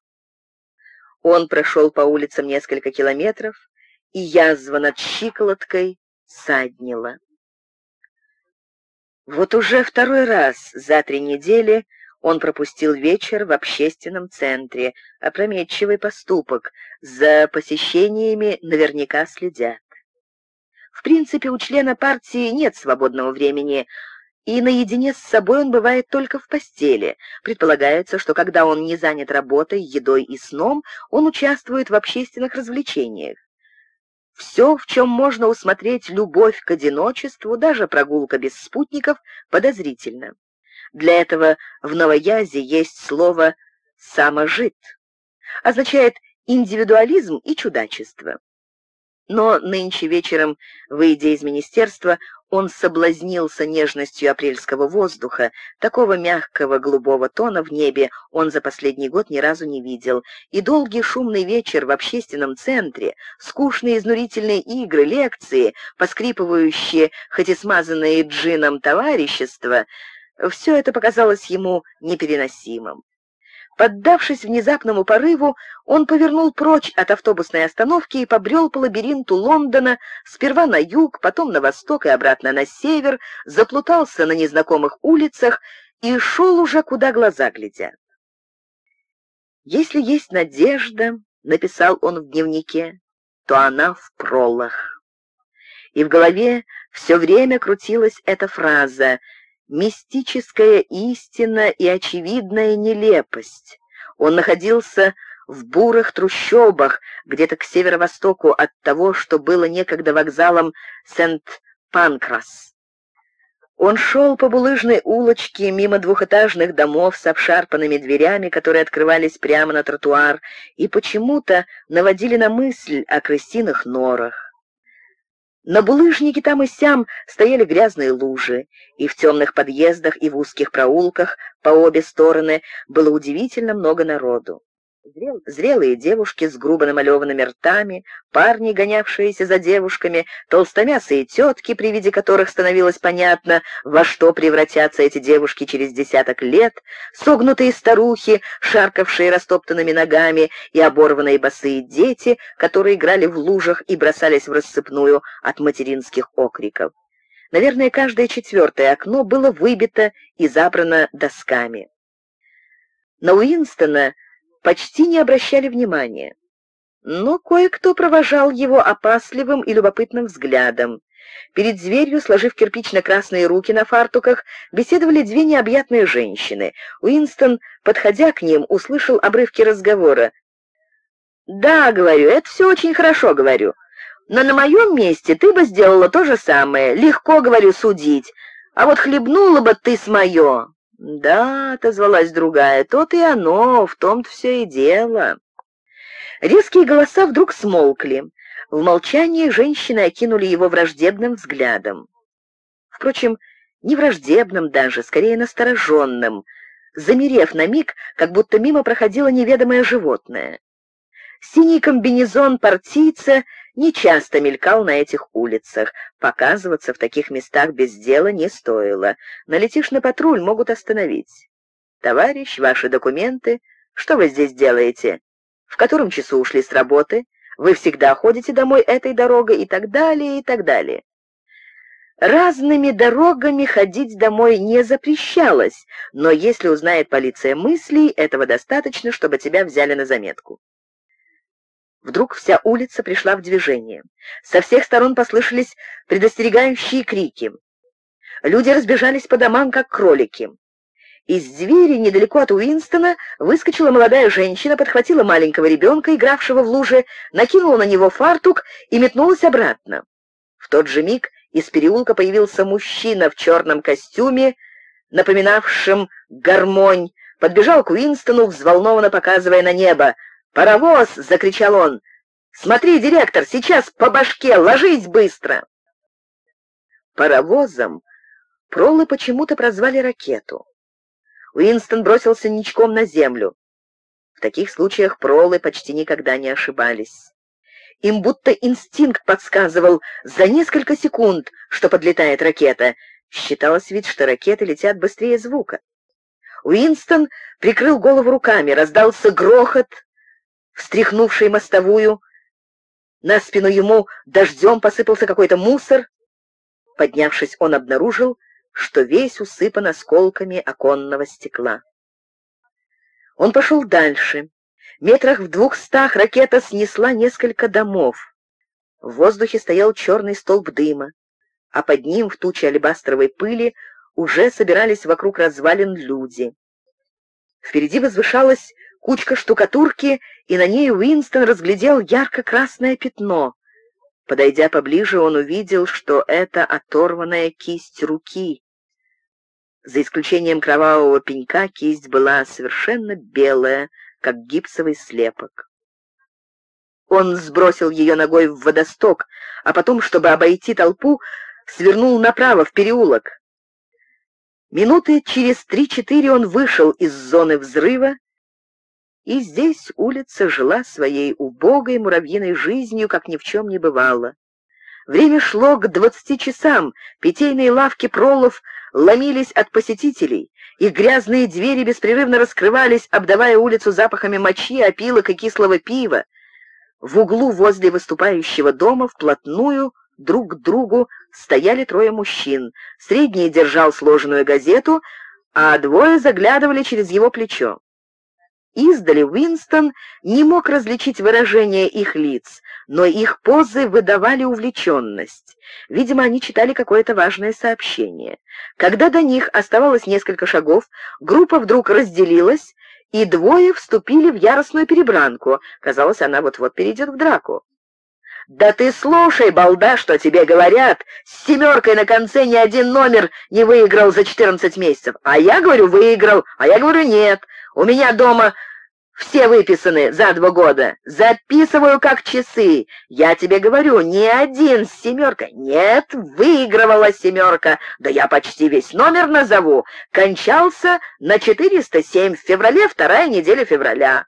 бабушку твою в феврале.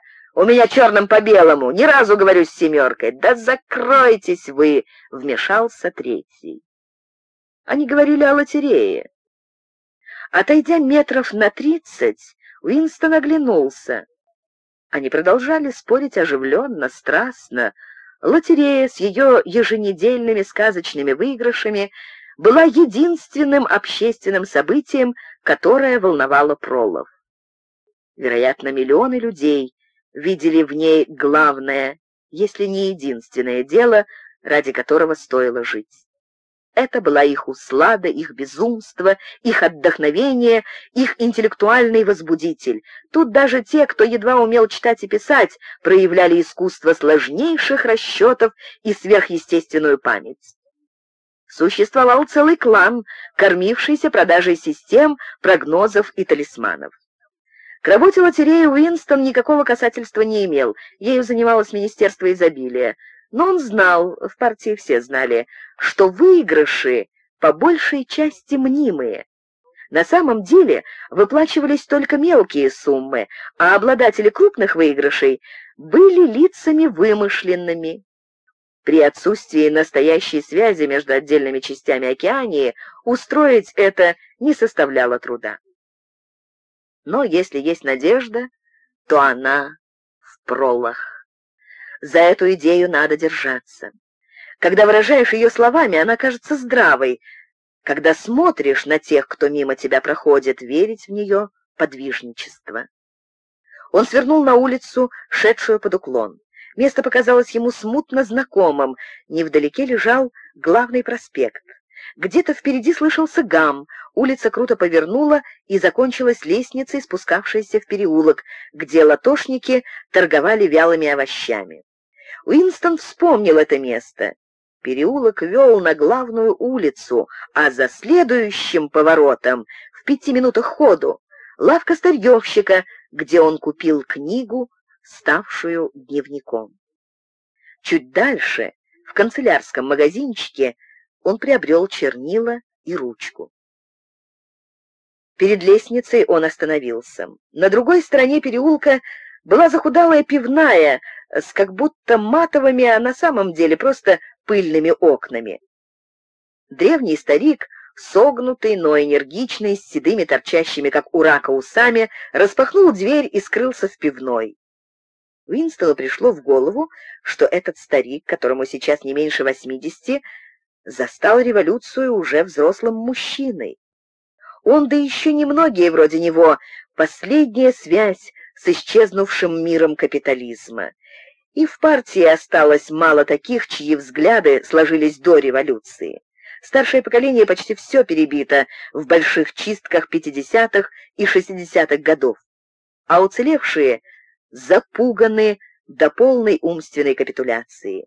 И если есть живой человек, который способен рассказать правду о первой половине века, то он может быть только пролом. Уинстон вдруг вспомнил переписанное в дневник место из детской книжки по истории и загорелся безумной идеей. Он войдет в пивную, завяжет со стариком знакомство и расспросит его, «Расскажите, как вы жили в детстве?» Какая была жизнь? Лучше, чем в наши дни, или хуже? Поскорее, чтобы не успеть испугаться, он спустился по лестнице и перешел на другую сторону переулка. Сумасшествие, конечно. Разговаривать с пролами и посещать их пивные тоже, конечно, не запрещалось, но такая странная выходка не останется незамеченной. Если зайдет патруль, можно прикинуться, что стало дурно, но они вряд ли поверят. Он толкнул дверь, в нос ему шибануло пивной кислятиной. Когда он вошел, гвалт в пивной сделался вдвое тише. Он спиной чувствовал, что все глаза уставились на его синий комбинезон. Люди, метавшие дротики в мишень, прервали свою игру на целых полминуты. Старик, из-за которого он пришел, припирался у стойки с барменом, крупным грузным молодым человеком, горбоносым и толсторуким. Вокруг кучкой стояли слушатели со своими стаканами. «Тебя как человека просят», — петушился старик и надувал грудь. А ты мне говоришь, что в твоем кабаке не найдется пинтовой кружки. «Да что это за чертовщина такая, пинта?» — возражал бармен, упершись пальцами в стойку. «Нет, вы слыхали? Бармен называется. Что такое пинта не знает? Пинта — это полкварты, а четыре кварты — галлон. Может, тебя азбуки поучить?» «Сроду не слышал», — отрезал бармен. «Подаем литр, подаем пол-литра, и все. Вон на полке посуда». «Пинту хочу», — не унимался старик, — Трудно, что ли, нацедить пинту? В мое время никаких ваших литров не было. В твое время мы все на ветках жили, — ответил бармен, оглянувшись на слушателей. Раздался громкий смех, и неловкость, вызванная появлением Уинстона, прошла. Лицо у старика сделалось красным. Он повернулся, ворча, и налетел на Уинстона. Уинстон вежливо взял его под руку. «Разрешите вас угостить», — сказал он. «Благородный человек», — ответил тот, снова выпитив грудь. Он будто не замечал на Уинстоне синего комбинезона. «Пинту!» — воинственно приказал он бармену. «Пинту тычка!» Бармен ополоснул два толстых полулитровых стакана в бочонке под стойкой и налил немного пива. Кроме пива в этих заведениях ничего не подавали. Пролом джин не полагался, но добывали они его без особого труда. Метание дротиков возобновилось, а люди у стойки заговорили о лотерейных билетах. Об Уинстоне на время забыли. У окна стоял сосновый стол, там можно было поговорить со стариком с глазу на глаз. Риск ужасный, но, по крайней мере, телекрана нет, в этом Уинстон удостоверился, как только вошел. «Мог бы нацедить мне пинту», — ворчал старик, усаживаясь со стаканом. «Пол-литра мало, не напьешься, а литр много, бегаешь часто, не говоря, что дорого». «Со времен вашей молодости вы, наверное, видели много перемен», — осторожно начал Уинстон.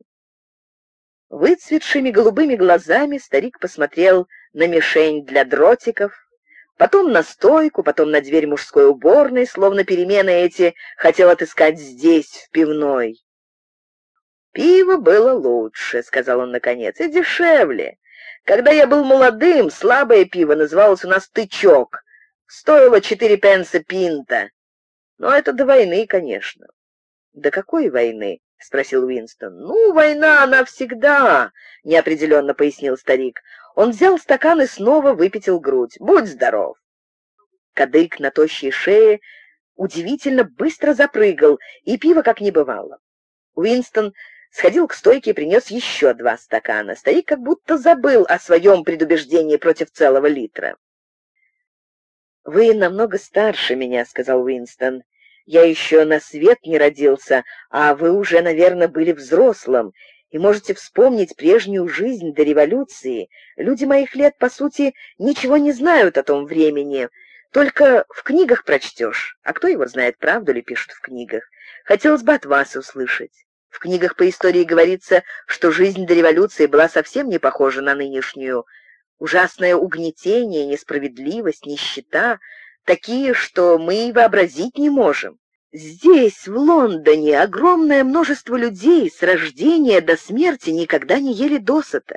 Половина ходила босиком, работали 12 часов, школу бросали в 9 лет, спали по 10 человек в комнате, а в то же время меньшинство, какие-нибудь несколько тысяч, так называемые капиталисты, располагало богатством и властью владели всем, чем можно владеть, жили в роскошных домах, держали по тридцать слуг, разъезжали на автомобилях и четверках, пили шампанское, носили цилиндры.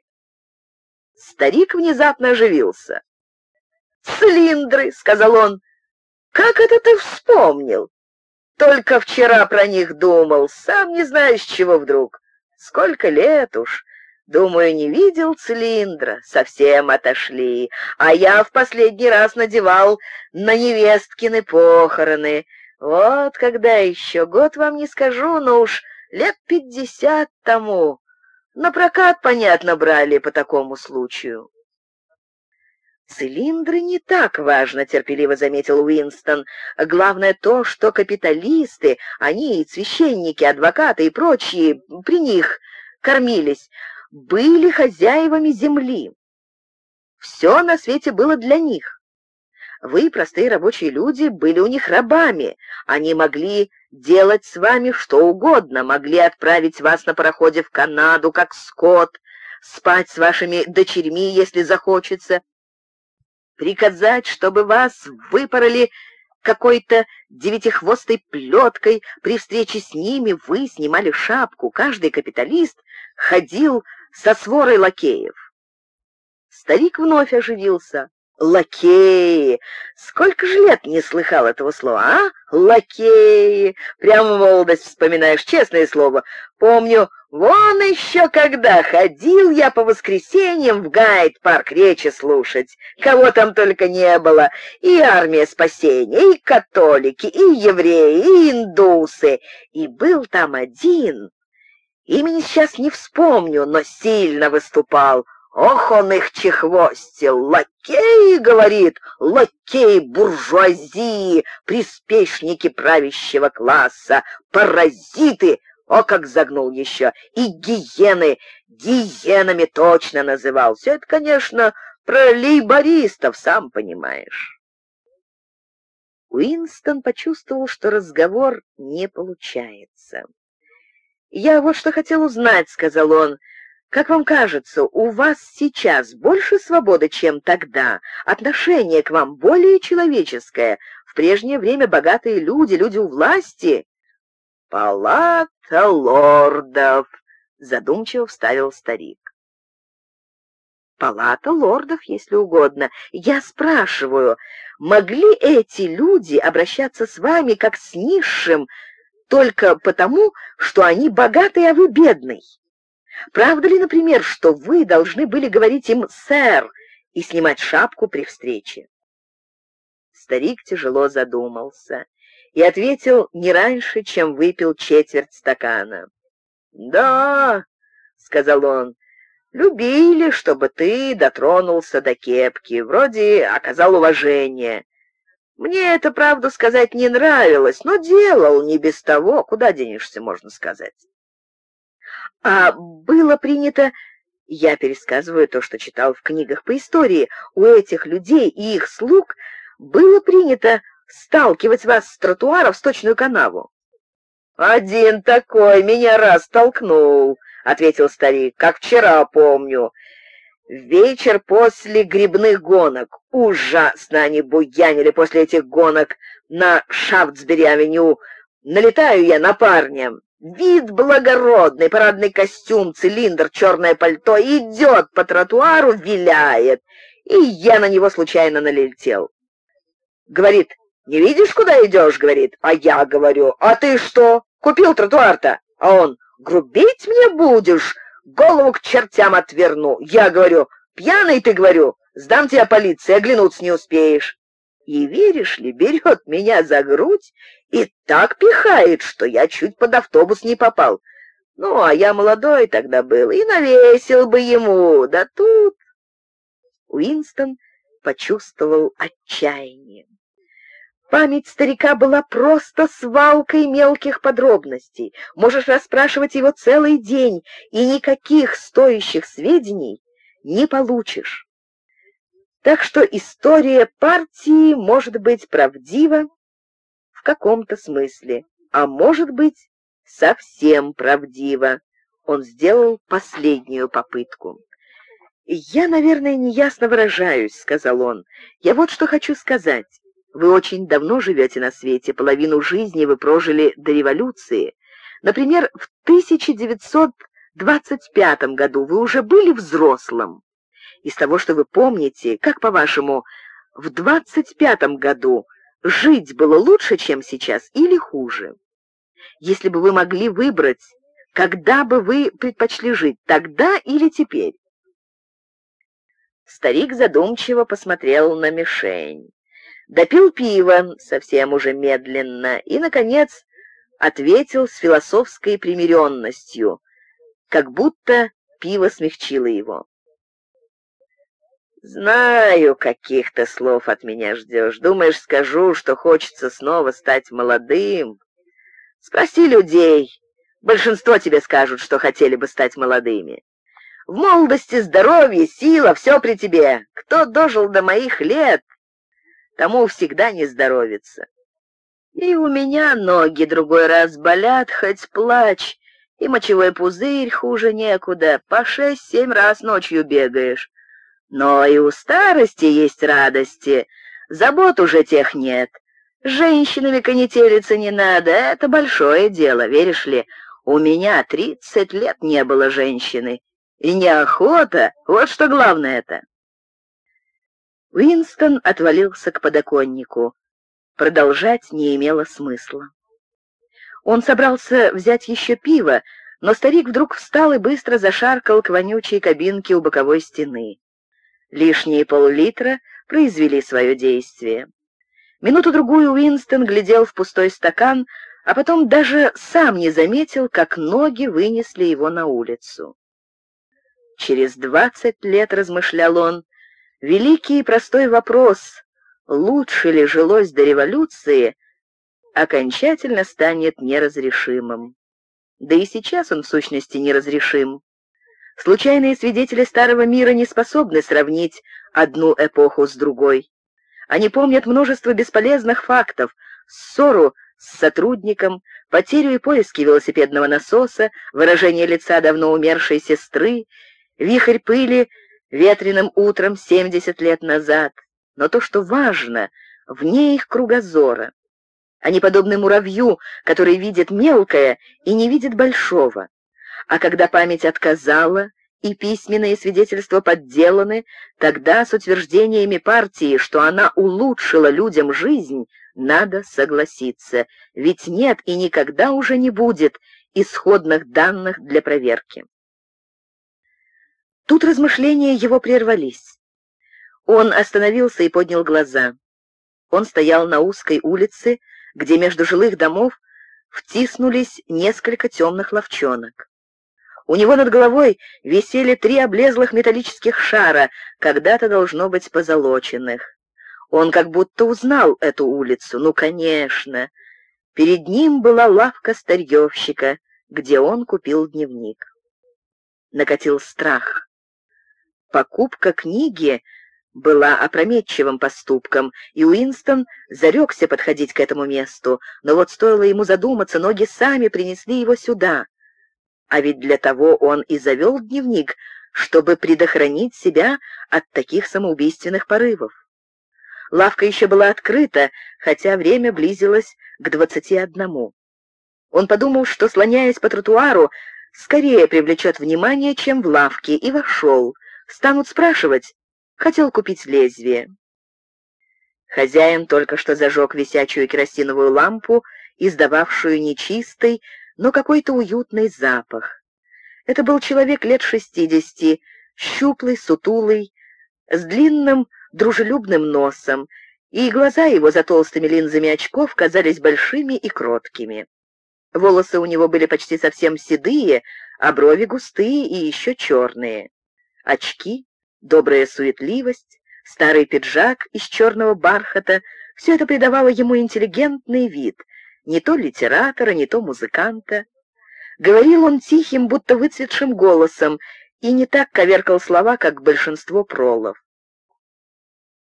«Я узнал вас на тротуаре», — сразу сказал он. «Это вы покупали подарочный альбом для девушек. Превосходная бумага, превосходная. Ее называли «кремовая верже». Такой бумаги не делают, я думаю, уж лет пятьдесят. Он посмотрел на Уинстона поверх очков. «Вам требуется что-то определенное? Или хотели просто посмотреть вещи?» «Шел мимо», — уклончиво ответил Уинстон. «Решил заглянуть. Ничего конкретного мне не надо. Тем лучше. Едва ли бы я смог вас удовлетворить». Как бы извиняясь, он повернул кверху мягкую ладонь. «Сами видите, можно сказать, пустая лавка. Между нами, говоря, торговля антиквариатом почти иссякла, спросу нет, да и предложить нечего. Мебель, фарфор, хрусталь — все это мало-помалу перебилось, переломалось, а металлическое по большей части ушло в переплавку. Сколько уже лет я не видел латунного подсвечника. На самом деле тесная ловчонка была забита вещами, но ни малейшей ценности они не представляли. Свободного места почти не осталось. Возле всех стен штабелями лежали пыльные рамы для картин. В витрине подносы с болтами и гайками, сточенные стамески, сломанные перочинные ножи, облупленные часы, даже не притворявшиеся исправными, и прочий разнообразный хлам. Какой-то интерес могла возбудить только мелочь, валявшаяся на столике в углу, лакированные табакерки, агатовые брошки и тому подобное. Уинстон подошел к столику, и взгляд его привлекла какая-то гладкая округлая вещь, тускло блестевшая при свете лампы. Он взял ее. Это была тяжелая стекляшка, плоская с одной стороны и выпуклая с другой, почти полушарие. И в цвете, и в строении стекла была непонятная мягкость, оно напоминало дождевую воду. А в сердцевине, увеличенной выпуклостью, находился странный розовый предмет узорчатого строения, напоминавший розу или морской анимон. «Что это?» — спросил очарованный Уинстон. «Это? Это коралл», — ответил старик. «Надо полагать, из Индийского океана. Прежде их иногда заливали в стекло. Сделано не меньше ста лет назад, по виду даже раньше». «Красивая вещь», — сказал Уинстон. «Красивая вещь», — признательно подхватил старьевщик, «но в наши дни мало кто ее оценит». Он кашлянул. «Э, «Если вам вдруг захочется купить, она стоит четыре доллара. Было время, когда за такую вещь давали восемь фунтов, а восемь фунтов... Э, ну, сейчас не сумею сказать точно, это были большие деньги». Но кому нынче нужны подлинные древности, хотя их так мало сохранилось? Уинстон немедленно заплатил 4 доллара и опустил вожделенную игрушку в карман. Соблазнила его не столько красота вещи, сколько аромат века, совсем не похожего на нынешний. Стекло такой дождевой мягкости ему никогда не встречалось. Самым симпатичным в этой штуке была ее бесполезность, хотя Уинстон догадался, что когда-то она служила пресс-папье. Стекло оттягивало карман, но, к счастью, не слишком выпирало. Это странный предмет, даже компрометирующий предмет для члена партии. Все старое, и, если на то пошло, все красивое, вызывало некоторое подозрение. Хозяин же, получив 4 доллара, заметно повеселел. Уинстон понял, что можно было сторговаться на трех или даже на двух. «Если есть желание посмотреть, у меня наверху еще одна комната», — сказал старик. «Там ничего особенного, всего несколько предметов. Если пойдем, нам понадобится свет». Он зажег еще одну лампу.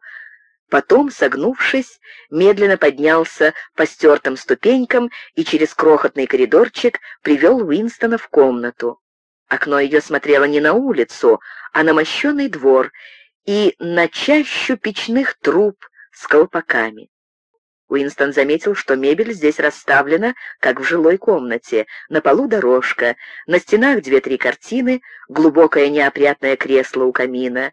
На каминной полке тикали старинные стеклянные часы с двенадцатичасовым циферблатом.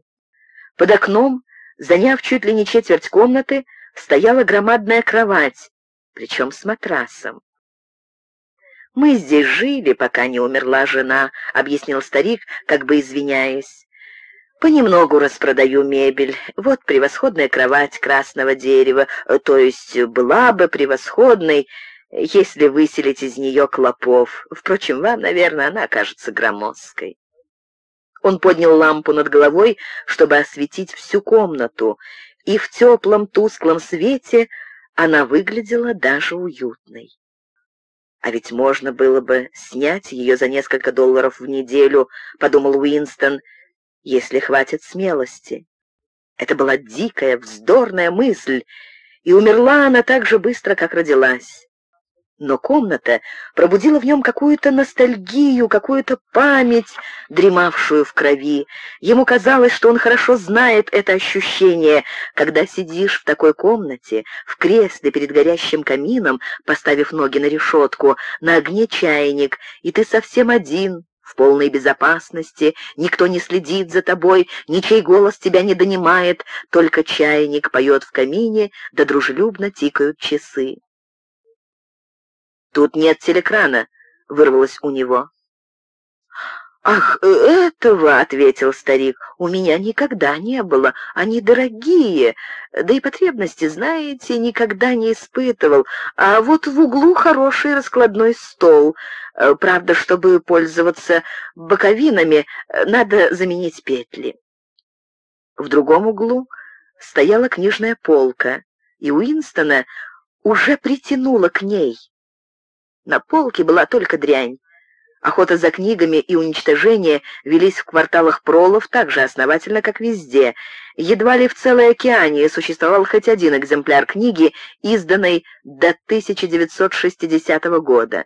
Старик с лампой в руке стоял перед картинкой в палисандровой раме, она висела по другую сторону от камина напротив кровати. «Кстати, «Кстати, если вас интересуют старинные гравюры...» — деликатно начал он. Уинстон подошел ближе. Это была гравюра на стали. Здание с овальным фронтоном, прямоугольными окнами и башней впереди. Вокруг здания шла ограда, а в глубине стояла, по-видимому, статуя. Уинстон присмотрелся. Здание казалось смутно знакомым, но статуи он не помнил. «Рамка привинчена к стене», — сказал старик, — «но если хотите, я сниму». «Я знаю это здание», — промолвил, наконец, Уинстон. «Оно разрушено.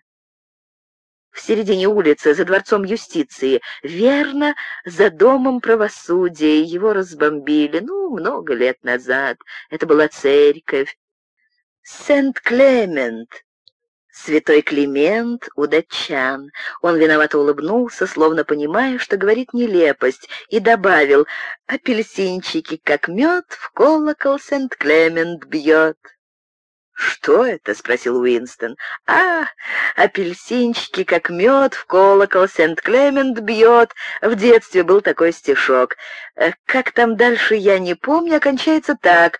Вот зажгу я пару свеч, ты в постельку можешь лечь, вот возьму я острый меч, и головка твоя с плеч».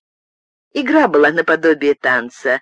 Они стояли, взявшись за руки, а ты шел под руками, и когда доходили до «вот возьму я острый меч и головка твоя с плеч», руки опускались и ловили тебя. Там были только названия церквей. Все лондонские церкви, э, то есть самые знаменитые. Уинстон рассеянно спросил себя, какого века могла быть эта церковь. Возраст лондонских домов определить всегда трудно. Все большие, внушительные и более или менее новые на вид считались, конечно, построенными после революции, а все то, что было очевидно старше, относили к какому-то далекому неясному времени, называвшемуся средними веками. Таким образом, века капитализма ничего стоящего не произвели. По архитектуре изучить историю было так же невозможно, как по книгам. Статуи, памятники, мемориальные доски, названия улиц, все, что могло пролить свет на прошлое, систематически переделывалось. «Я не знал, что это церковь», — сказал он. «Вообще-то их много осталось», — сказал старик, — «только их используют для других нужд». «Как же там этот стишок?» — продолжал старик. «А, вспомнил. Апельсинчики, как мед, в колокол Сент-Клемент бьет, и звонит Сент-Мартин, отдавай мне фартинг». Вот, дальше опять не помню. А фартинг — это была маленькая медная монета, наподобие цента. «А где Сент-Мартин?» — спросил Уинстон. «Сент-Мартин?» Это еще стоит на площади Победы, рядом с картинной галереей, здание с портиком и колоннами, с широкой лестницей. Уинстон хорошо знал здание. Это был музей, предназначенный для разных пропагандистских выставок, моделей ракет и плавающих крепостей, восковых панорам, изображающих вражеские зверства и тому подобного. «Называлась Святой Мартин на полях», — добавил старик, «хотя никаких полей в этом районе не припомню». Гравюру Уинстон не купил. Предмет был еще более неподходящий, чем стеклянное пресс-папье, да и домой ее не унесешь, разве только без рамки. Но он задержался еще на несколько минут, беседуя со стариком, и выяснил, что фамилия его не Уикс, как можно было заключить по надписи на лавке, а Чаррингтон. Оказалось, что мистеру Чаррингтону 63 года, он вдовец и обитает в лавке 30 лет. Все эти годы он собирался сменить вывеску, но так и не собрался. Пока они беседовали, Уинстон все твердил про себя начало стишка. «Апельсинчики, как мед, в колокол Сент-Клемент бьет, и звонит Сент-Мартин, отдавай мне фартинг». Любопытно. Когда он произносил про себя стишок, ему чудилось, будто звучат сами колокола, колокола исчезнувшего Лондона который еще существует где-то невидимый и забытый. И слышалось ему, как поднимают они трезвон одна за другой призрачные колокольни, между тем, сколько он себя помнил, он ни разу не слышал церковного звона. Он попрощался с мистером Чарингтоном и спустился по лестнице один, чтобы старик не увидел, как он оглядывает улицу, прежде чем выйти за дверь. Он уже решил, что, выждав время, хотя бы месяц, рискнет еще раз посетить лавку. Едва ли это опаснее, чем пропустить вечер в общественном центре. Большой опрометчивостью было уже то, что после покупки книги он пришел сюда снова, не зная, можно ли доверять хозяину, и все же... «Да», — сказал он себе, — «надо будет прийти еще» он купит гравюру с церковью святого Климента у датчан, вынет из рамы и унесет под комбинезоном домой. Заставит мистера Чарингтона вспомнить стишок до конца, и снова мелькнула безумная мысль снять верхнюю комнату. От восторга он секунд на пять забыл об осторожности, вышел на улицу, ограничившись беглым взглядом в окно, и даже начал напевать на самодельный мотив. Апельсинчики, как мед, в колокол Сент-Клемент бьет, и звонит Сент-Мартин, отдавай мне фартинг. Вдруг сердце у него ёкнуло от страха, живот схватило. В каких-нибудь десяти метрах фигура в синем комбинезоне идет к нему. Это была девица из отдела литературы, темноволосая. Уже смеркалось, но Уинстон узнал ее без труда. Она посмотрела ему прямо в глаза и быстро прошла дальше, как будто не заметила. Несколько секунд он не мог двинуться с места, словно отнялись ноги. Потом повернулся направо и с трудом пошел, не замечая, что идет не в ту сторону. Одно, по крайней мере, стало ясно, сомнений быть не могло, девица за ним шпионит. Она выследила его. Нельзя же поверить, что она по чистой случайности забрела в тот же вечер на ту же захудалую улочку в нескольких километрах от района, где живут партийцы. Слишком много совпадений. А служит она в полиции мыслей или же эта самодеятельность, значения не имеет. Она за ним следит, этого довольно. Может быть, даже видела, как он заходил в пивную. Идти было тяжело. Стеклянный груз в кармане при каждом шаге стукал по бедру, и Уинстона подмывало выбросить его. Но хуже всего была спазма в животе. Несколько минут ему казалось, что если он сейчас же не найдет уборную, то умрет. Но в таком районе не могло быть общественной уборной. Потом спазма прошла, осталась только глухая боль. Улица оказалась тупиком. Уинстон остановился, постоял несколько секунд рассеянно, соображая, что делать. Потом повернул назад. Когда он повернул, ему пришло в голову, что он разминулся с девицей каких-нибудь три минуты назад, и если бегом, то можно ее догнать. Можно дойти за ней до какого-нибудь тихого места, а там проломить ей череп булыжником. Стеклянное пресс-папье тоже сгодится, оно тяжелое. Но он сразу отбросил этот план. Невыносима была даже мысль о том, чтобы совершить физическое усилие. Нет сил бежать, нет сил ударить. Вдобавок девица молодая и крепкая, будет защищаться. Потом он подумал, что надо сейчас же пойти в общественный центр и пробыть там до закрытия, обеспечить себе хотя бы частичное алиби. Но и это невозможно. Им овладела смертельная вялость. Хотелось одного — вернуться к себе в квартиру и ничего не делать. Домой он пришел только в двадцать третьем часу. Ток в сети должны были отключить в двадцать три тридцать. Он отправился на кухню и выпил почти целую чашку джина «Победа». Потом подошел к столу в нише, сел и вынул из ящика дневник. Но раскрыл его не сразу. Женщина в телекране томным голосом пела патриотическую песню. Уинстон смотрел на мраморный переплет, безуспешно стараясь отвлечься от этого голоса. «Приходят за тобой ночью, всегда ночью. Самое правильное — покончить с собой, пока тебя не взяли. Наверняка так поступали многие. Многие исчезновения на самом деле были самоубийствами. Но в стране, где ни огнестрельного оружия, ни надежного яда не достанешь, нужна отчаянная отвага, чтобы покончить с собой. Он с удивлением подумал о том, что боль и страх биологически бесполезны подумал о вероломстве человеческого тела, цепенеющего в тот самый миг, когда требуются особые усилия. Он мог бы избавиться от темноволосой, если бы сразу приступил к делу, но именно из-за того, что опасность была чрезвычайной, он лишился сил. Ему пришло в голову, что в критические минуты человек борется не с внешним врагом, а всегда с собственным телом. Даже сейчас, несмотря на джин, тупая боль в животе не позволяла ему связно думать.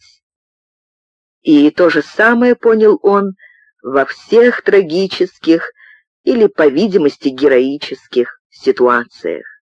На поле боя, в камере пыток, на тонущем корабле, то, за что ты бился, всегда забывается. Тело твое разрастается и заполняет Вселенную, и даже когда ты не парализован страхом и не кричишь от боли, жизнь — это ежеминутная борьба с голодом или холодом, с бессонницей, изжогой или зубной болью. Он раскрыл дневник. Важно хоть что-нибудь записать. Женщина в телекране разразилась новой песней. Голос вонзался ему в мозг, как острые осколки стекла. Он пытался думать об О'Брайене, для которого, которому пишется дневник, но вместо этого стал думать, что с ним будет, когда его арестует полиция мыслей.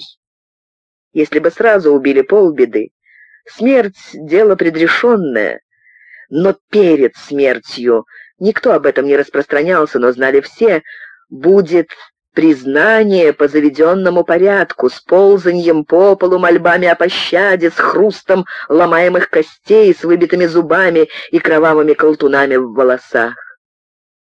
Почему ты должен пройти через это, если итог все равно известен?